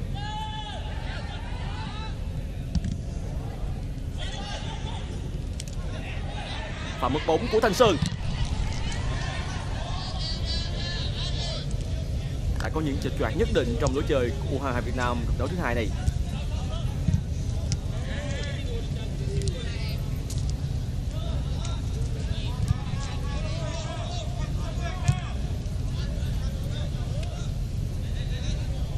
Chặng đường chinh phục chiếc huy chương vàng SEA Games 30 vẫn còn rất dài phía trước. Và những luận viên Park Hang-seo đã chia sẻ sau trận đấu cấp U22 phút này, đội tuyển Việt Nam sẽ phải cải thiện và tiến bộ qua từng trận đấu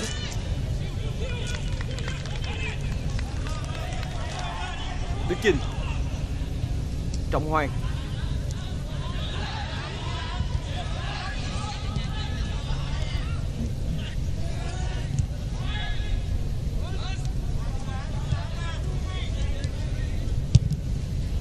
Quang Hải. Và một bóng quen thuộc của Quang Hải. Nhưng sau đó thì tình huống chuyền bóng của Đức Chinh dành cho Hoàng Đức là hơi mạnh.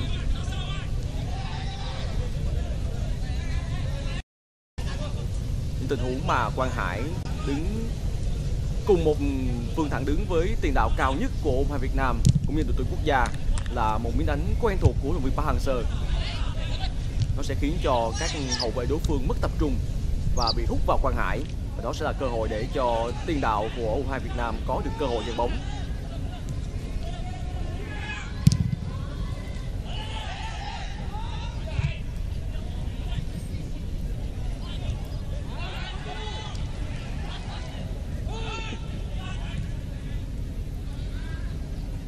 Với U22 Lào thì ngày hôm nay họ cũng đang cho thấy được một bộ mặt khá đáng khen. Sau khi để thua 4 bàn, U22 Lào hoàn toàn không vỡ trận. Họ vẫn thi đấu với một tinh thần thoải mái và vẫn cố gắng tận dụng những cơ hội mà mình có được.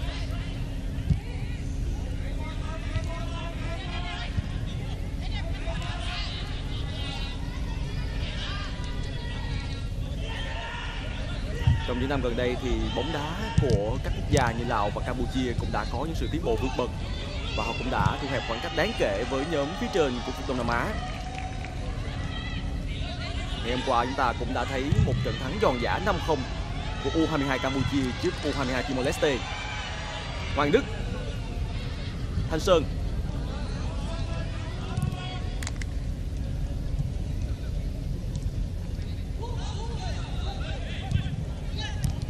phối hợp của Đức Chinh và Việt Hưng.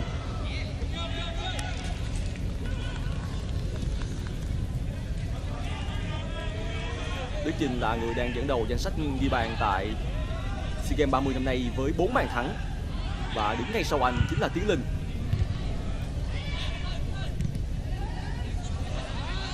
cơ hội tấn công dành cho U2 Lào Von Chen Kham và sự trợ khá tốt của Messi Lào và đã có tình huống phạm lỗi đến từ Đức Chiến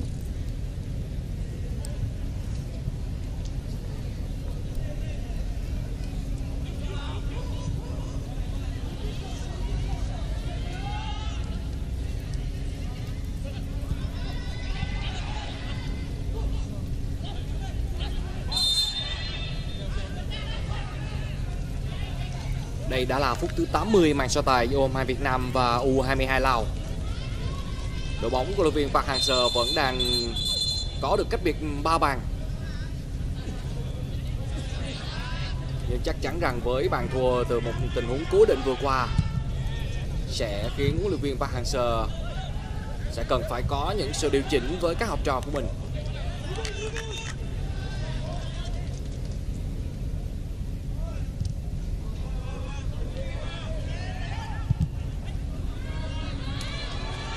Hoàng Đức Cú đá bóng sóng rất nhanh của Hoàng Đức Như vậy ở thời điểm hiện tại thì ba cầu thủ thuộc biên chế của câu lạc bộ Viettel đều đang có mặt ở trên sân. Đó là Hoàng Đức, Trọng Hoàng và trung vệ Đức Chiến.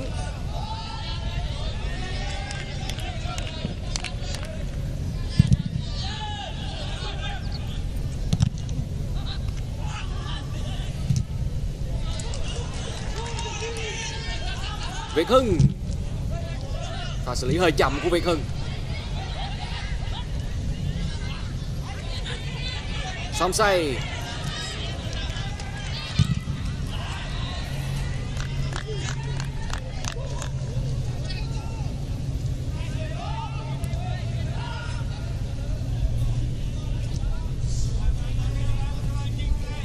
Hiện tại ở sân Rizal, sân vận động quốc gia của Philippines thì đội tuyển U22 Thái Lan cũng đang dẫn trước U22 Brunei với tỷ số 5-0.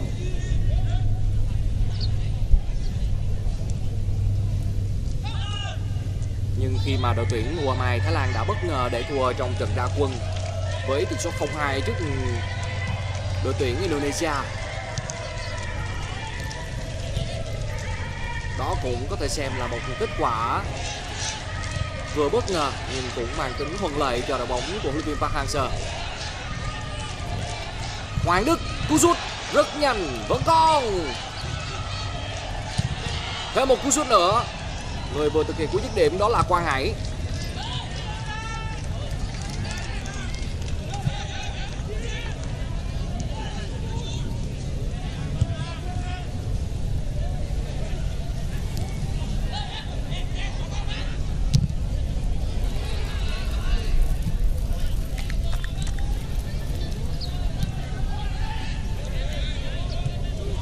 Trận hết sức khó khăn. U22 Lào. Thường thì các cầu thủ áo trắng chỉ thực hiện được rất ít những đường truyền trước khi để mất bóng.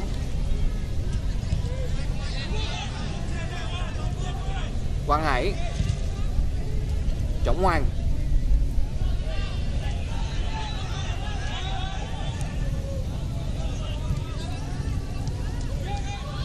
Thanh Sơn. Không có lỗi việt vị Trọng Hoàng Rất đơn giản cho bàn thắng của U22 Việt Nam. Một tình huống phá bảy việt vị rất kinh nghiệm của Trọng Hoàng Và tỷ số là 5-1 cho U22 Việt Nam. Niềm vui rất lớn dành cho các cầu động viên của Việt Nam đang có mặt ở sân Binan. Và cả những người hâm mộ đang theo dõi trực tiếp trận đấu này. Đường truyền rất chính xác đó là của tiền vệ Thanh Sơn.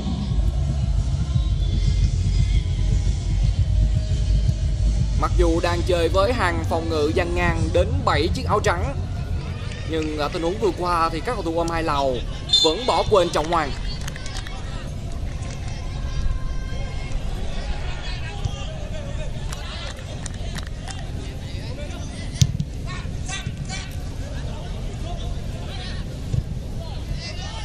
bóng của Bùi Tiến Dũng.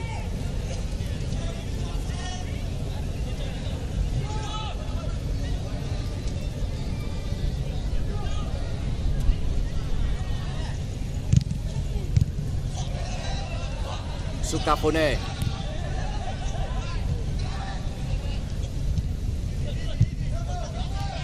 Tiếp tục là Sukafone.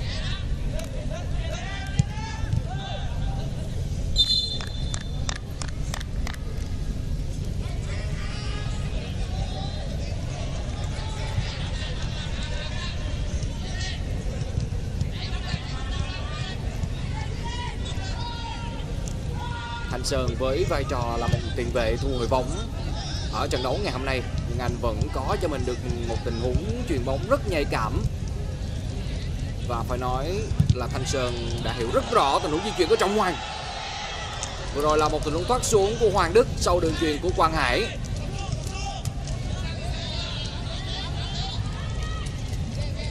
Mặc dù đang chơi trên mặt sân cỏ nhân tạo nhưng chúng ta cũng thấy là các cầu thủ U22 Việt Nam và đặc biệt là các tiền vệ áo đỏ đang cho thấy được cảm giác chuyền bóng rất tốt. Đây là Som Say. Long Leon. Sucafone Vana. Và các bóng của Đức Chiến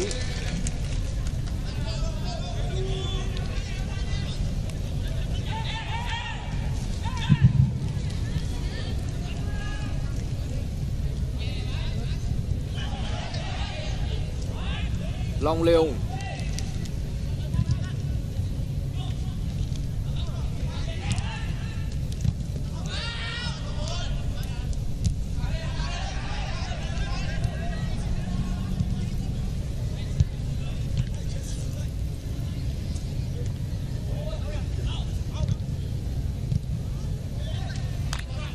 bóng đã trở về quyền kiểm soát của các cầu thủ huấn luyện viên Park Hang-seo. Tiếp tục là Thanh Sơn. Nếu như ở hiệp đấu đầu tiên thì người triển khai bóng ở hàng tiền vệ của U23 Việt Nam là Triệu Việt Hưng. Thì ở hiệp 2 vai trò đó đã được trao cho Thanh Sơn.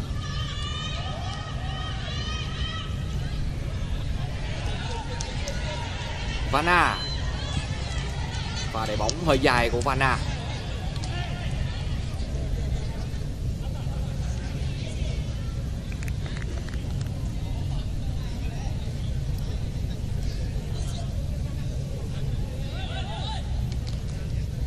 nguy cơ. Chấn thương ngoài da khi thi đấu trên mặt sân cỏ nhân tạo là rất lớn ở trận đấu này. Chúng ta thấy là hậu vệ Vana của U22 Lào vừa rồi đã gặp một vết xước ở đầu gối.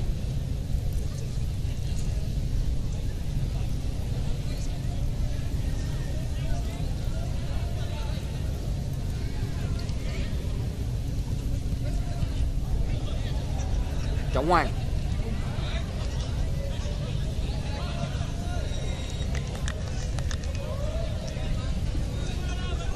Sau khi có được bàn thắng thứ năm, thì các cầu thủ U22 Việt Nam cũng đã chủ động giảm nhịp độ trận đấu lại. Trận đấu đang trôi về những phút cuối của thời gian thi đấu chính thức.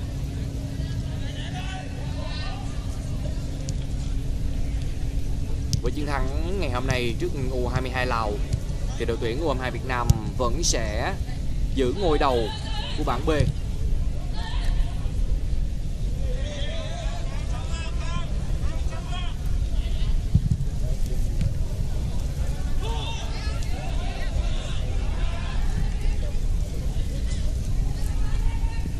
lượt trận thứ hai của bảng B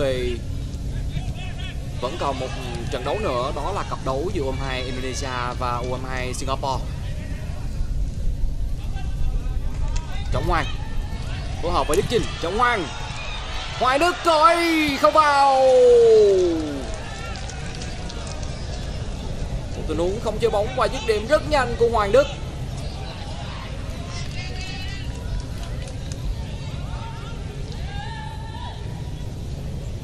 và phối hợp rất cơ bản của bộ đội Hà Đức Trình và Nguyễn Trọng Hoàng. Nhưng Hoàng Đức khá đáng tiếc lại không tận dụng được cơ hội để có được bàn thắng cho mình.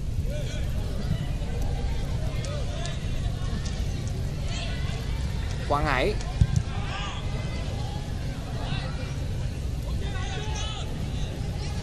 Đây đã là phút thi đấu chính thức cuối cùng của hiệp đấu thứ hai.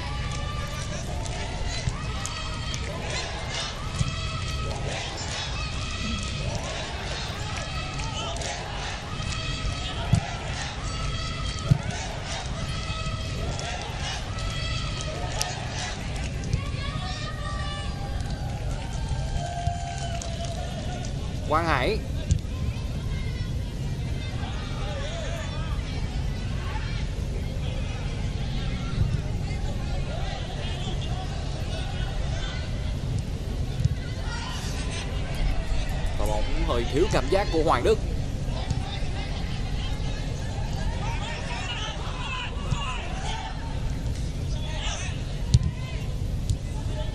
Socafone Somsay sẽ có 3 phút bù giờ cho trận đấu này.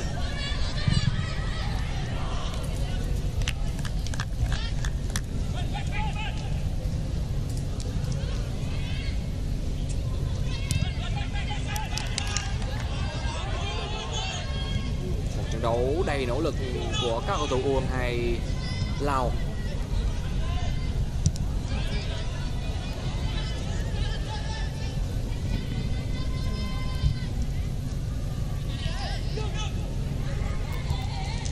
Trọng Hoàng.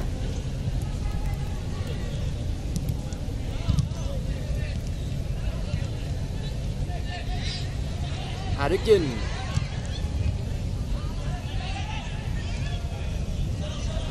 Triệu Việt Hưng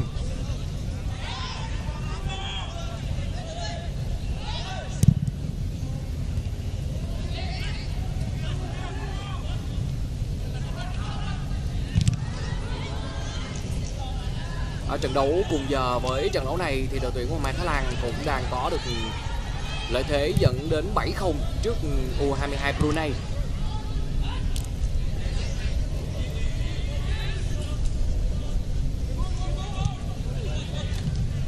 Triệu Việt Hưng được chuyền dành cho Hoàng Đức.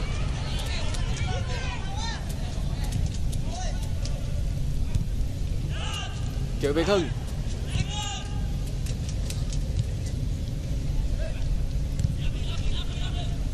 Quang Hải Thì chúng tôi cũng đã giới thiệu thì theo sau trận đấu này thì ở lượt trận thứ ba của bảng B, đội tuyển U22 Việt Nam sẽ có trận đấu rất quan trọng gặp U22 Indonesia.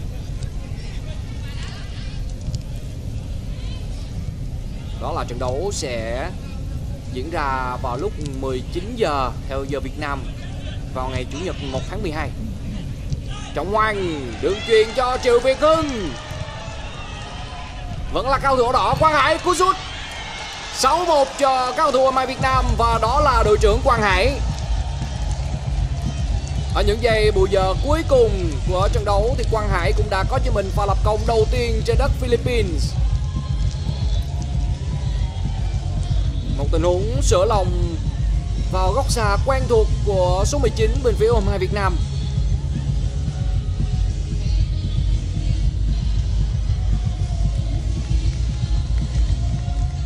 Người đã thực hiện đường trả bóng để Quang Hải dứt điểm, đó là Văn Hậu.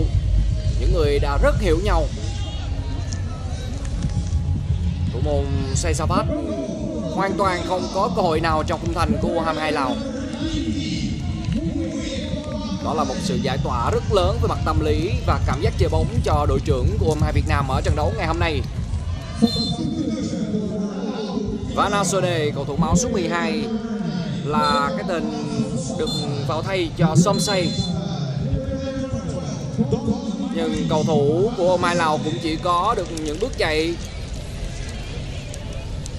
Ít ỏi khi mà trọng tài Sri Srifat người Ấn Độ, đã cho trận đấu giữa U22 Việt Nam và U22 Lào khép lại kết quả chung cuộc đó là 6-1 chiến thắng nhẹ nhàng cho đội tuyển U22 Việt Nam với chiến thắng này thì chắc chắn rằng đội tuyển U22 Việt Nam vẫn sẽ tiếp tục đứng đầu bảng B với 6 điểm tuyệt đối qua hai chiến thắng 6-0 trước U22 Brunei và 6-1 trước đội tuyển U22 Lào.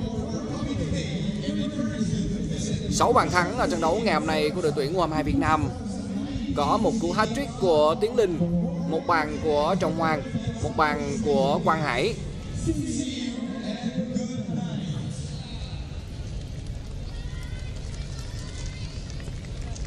Quý vị và các bạn thân mến Xin được gửi lời cảm ơn đến quý vị khán giả đã quan tâm theo dõi màn so tài ngày hôm nay trên sóng HTV9 Xin được chào tạm biệt và hẹn gặp lại.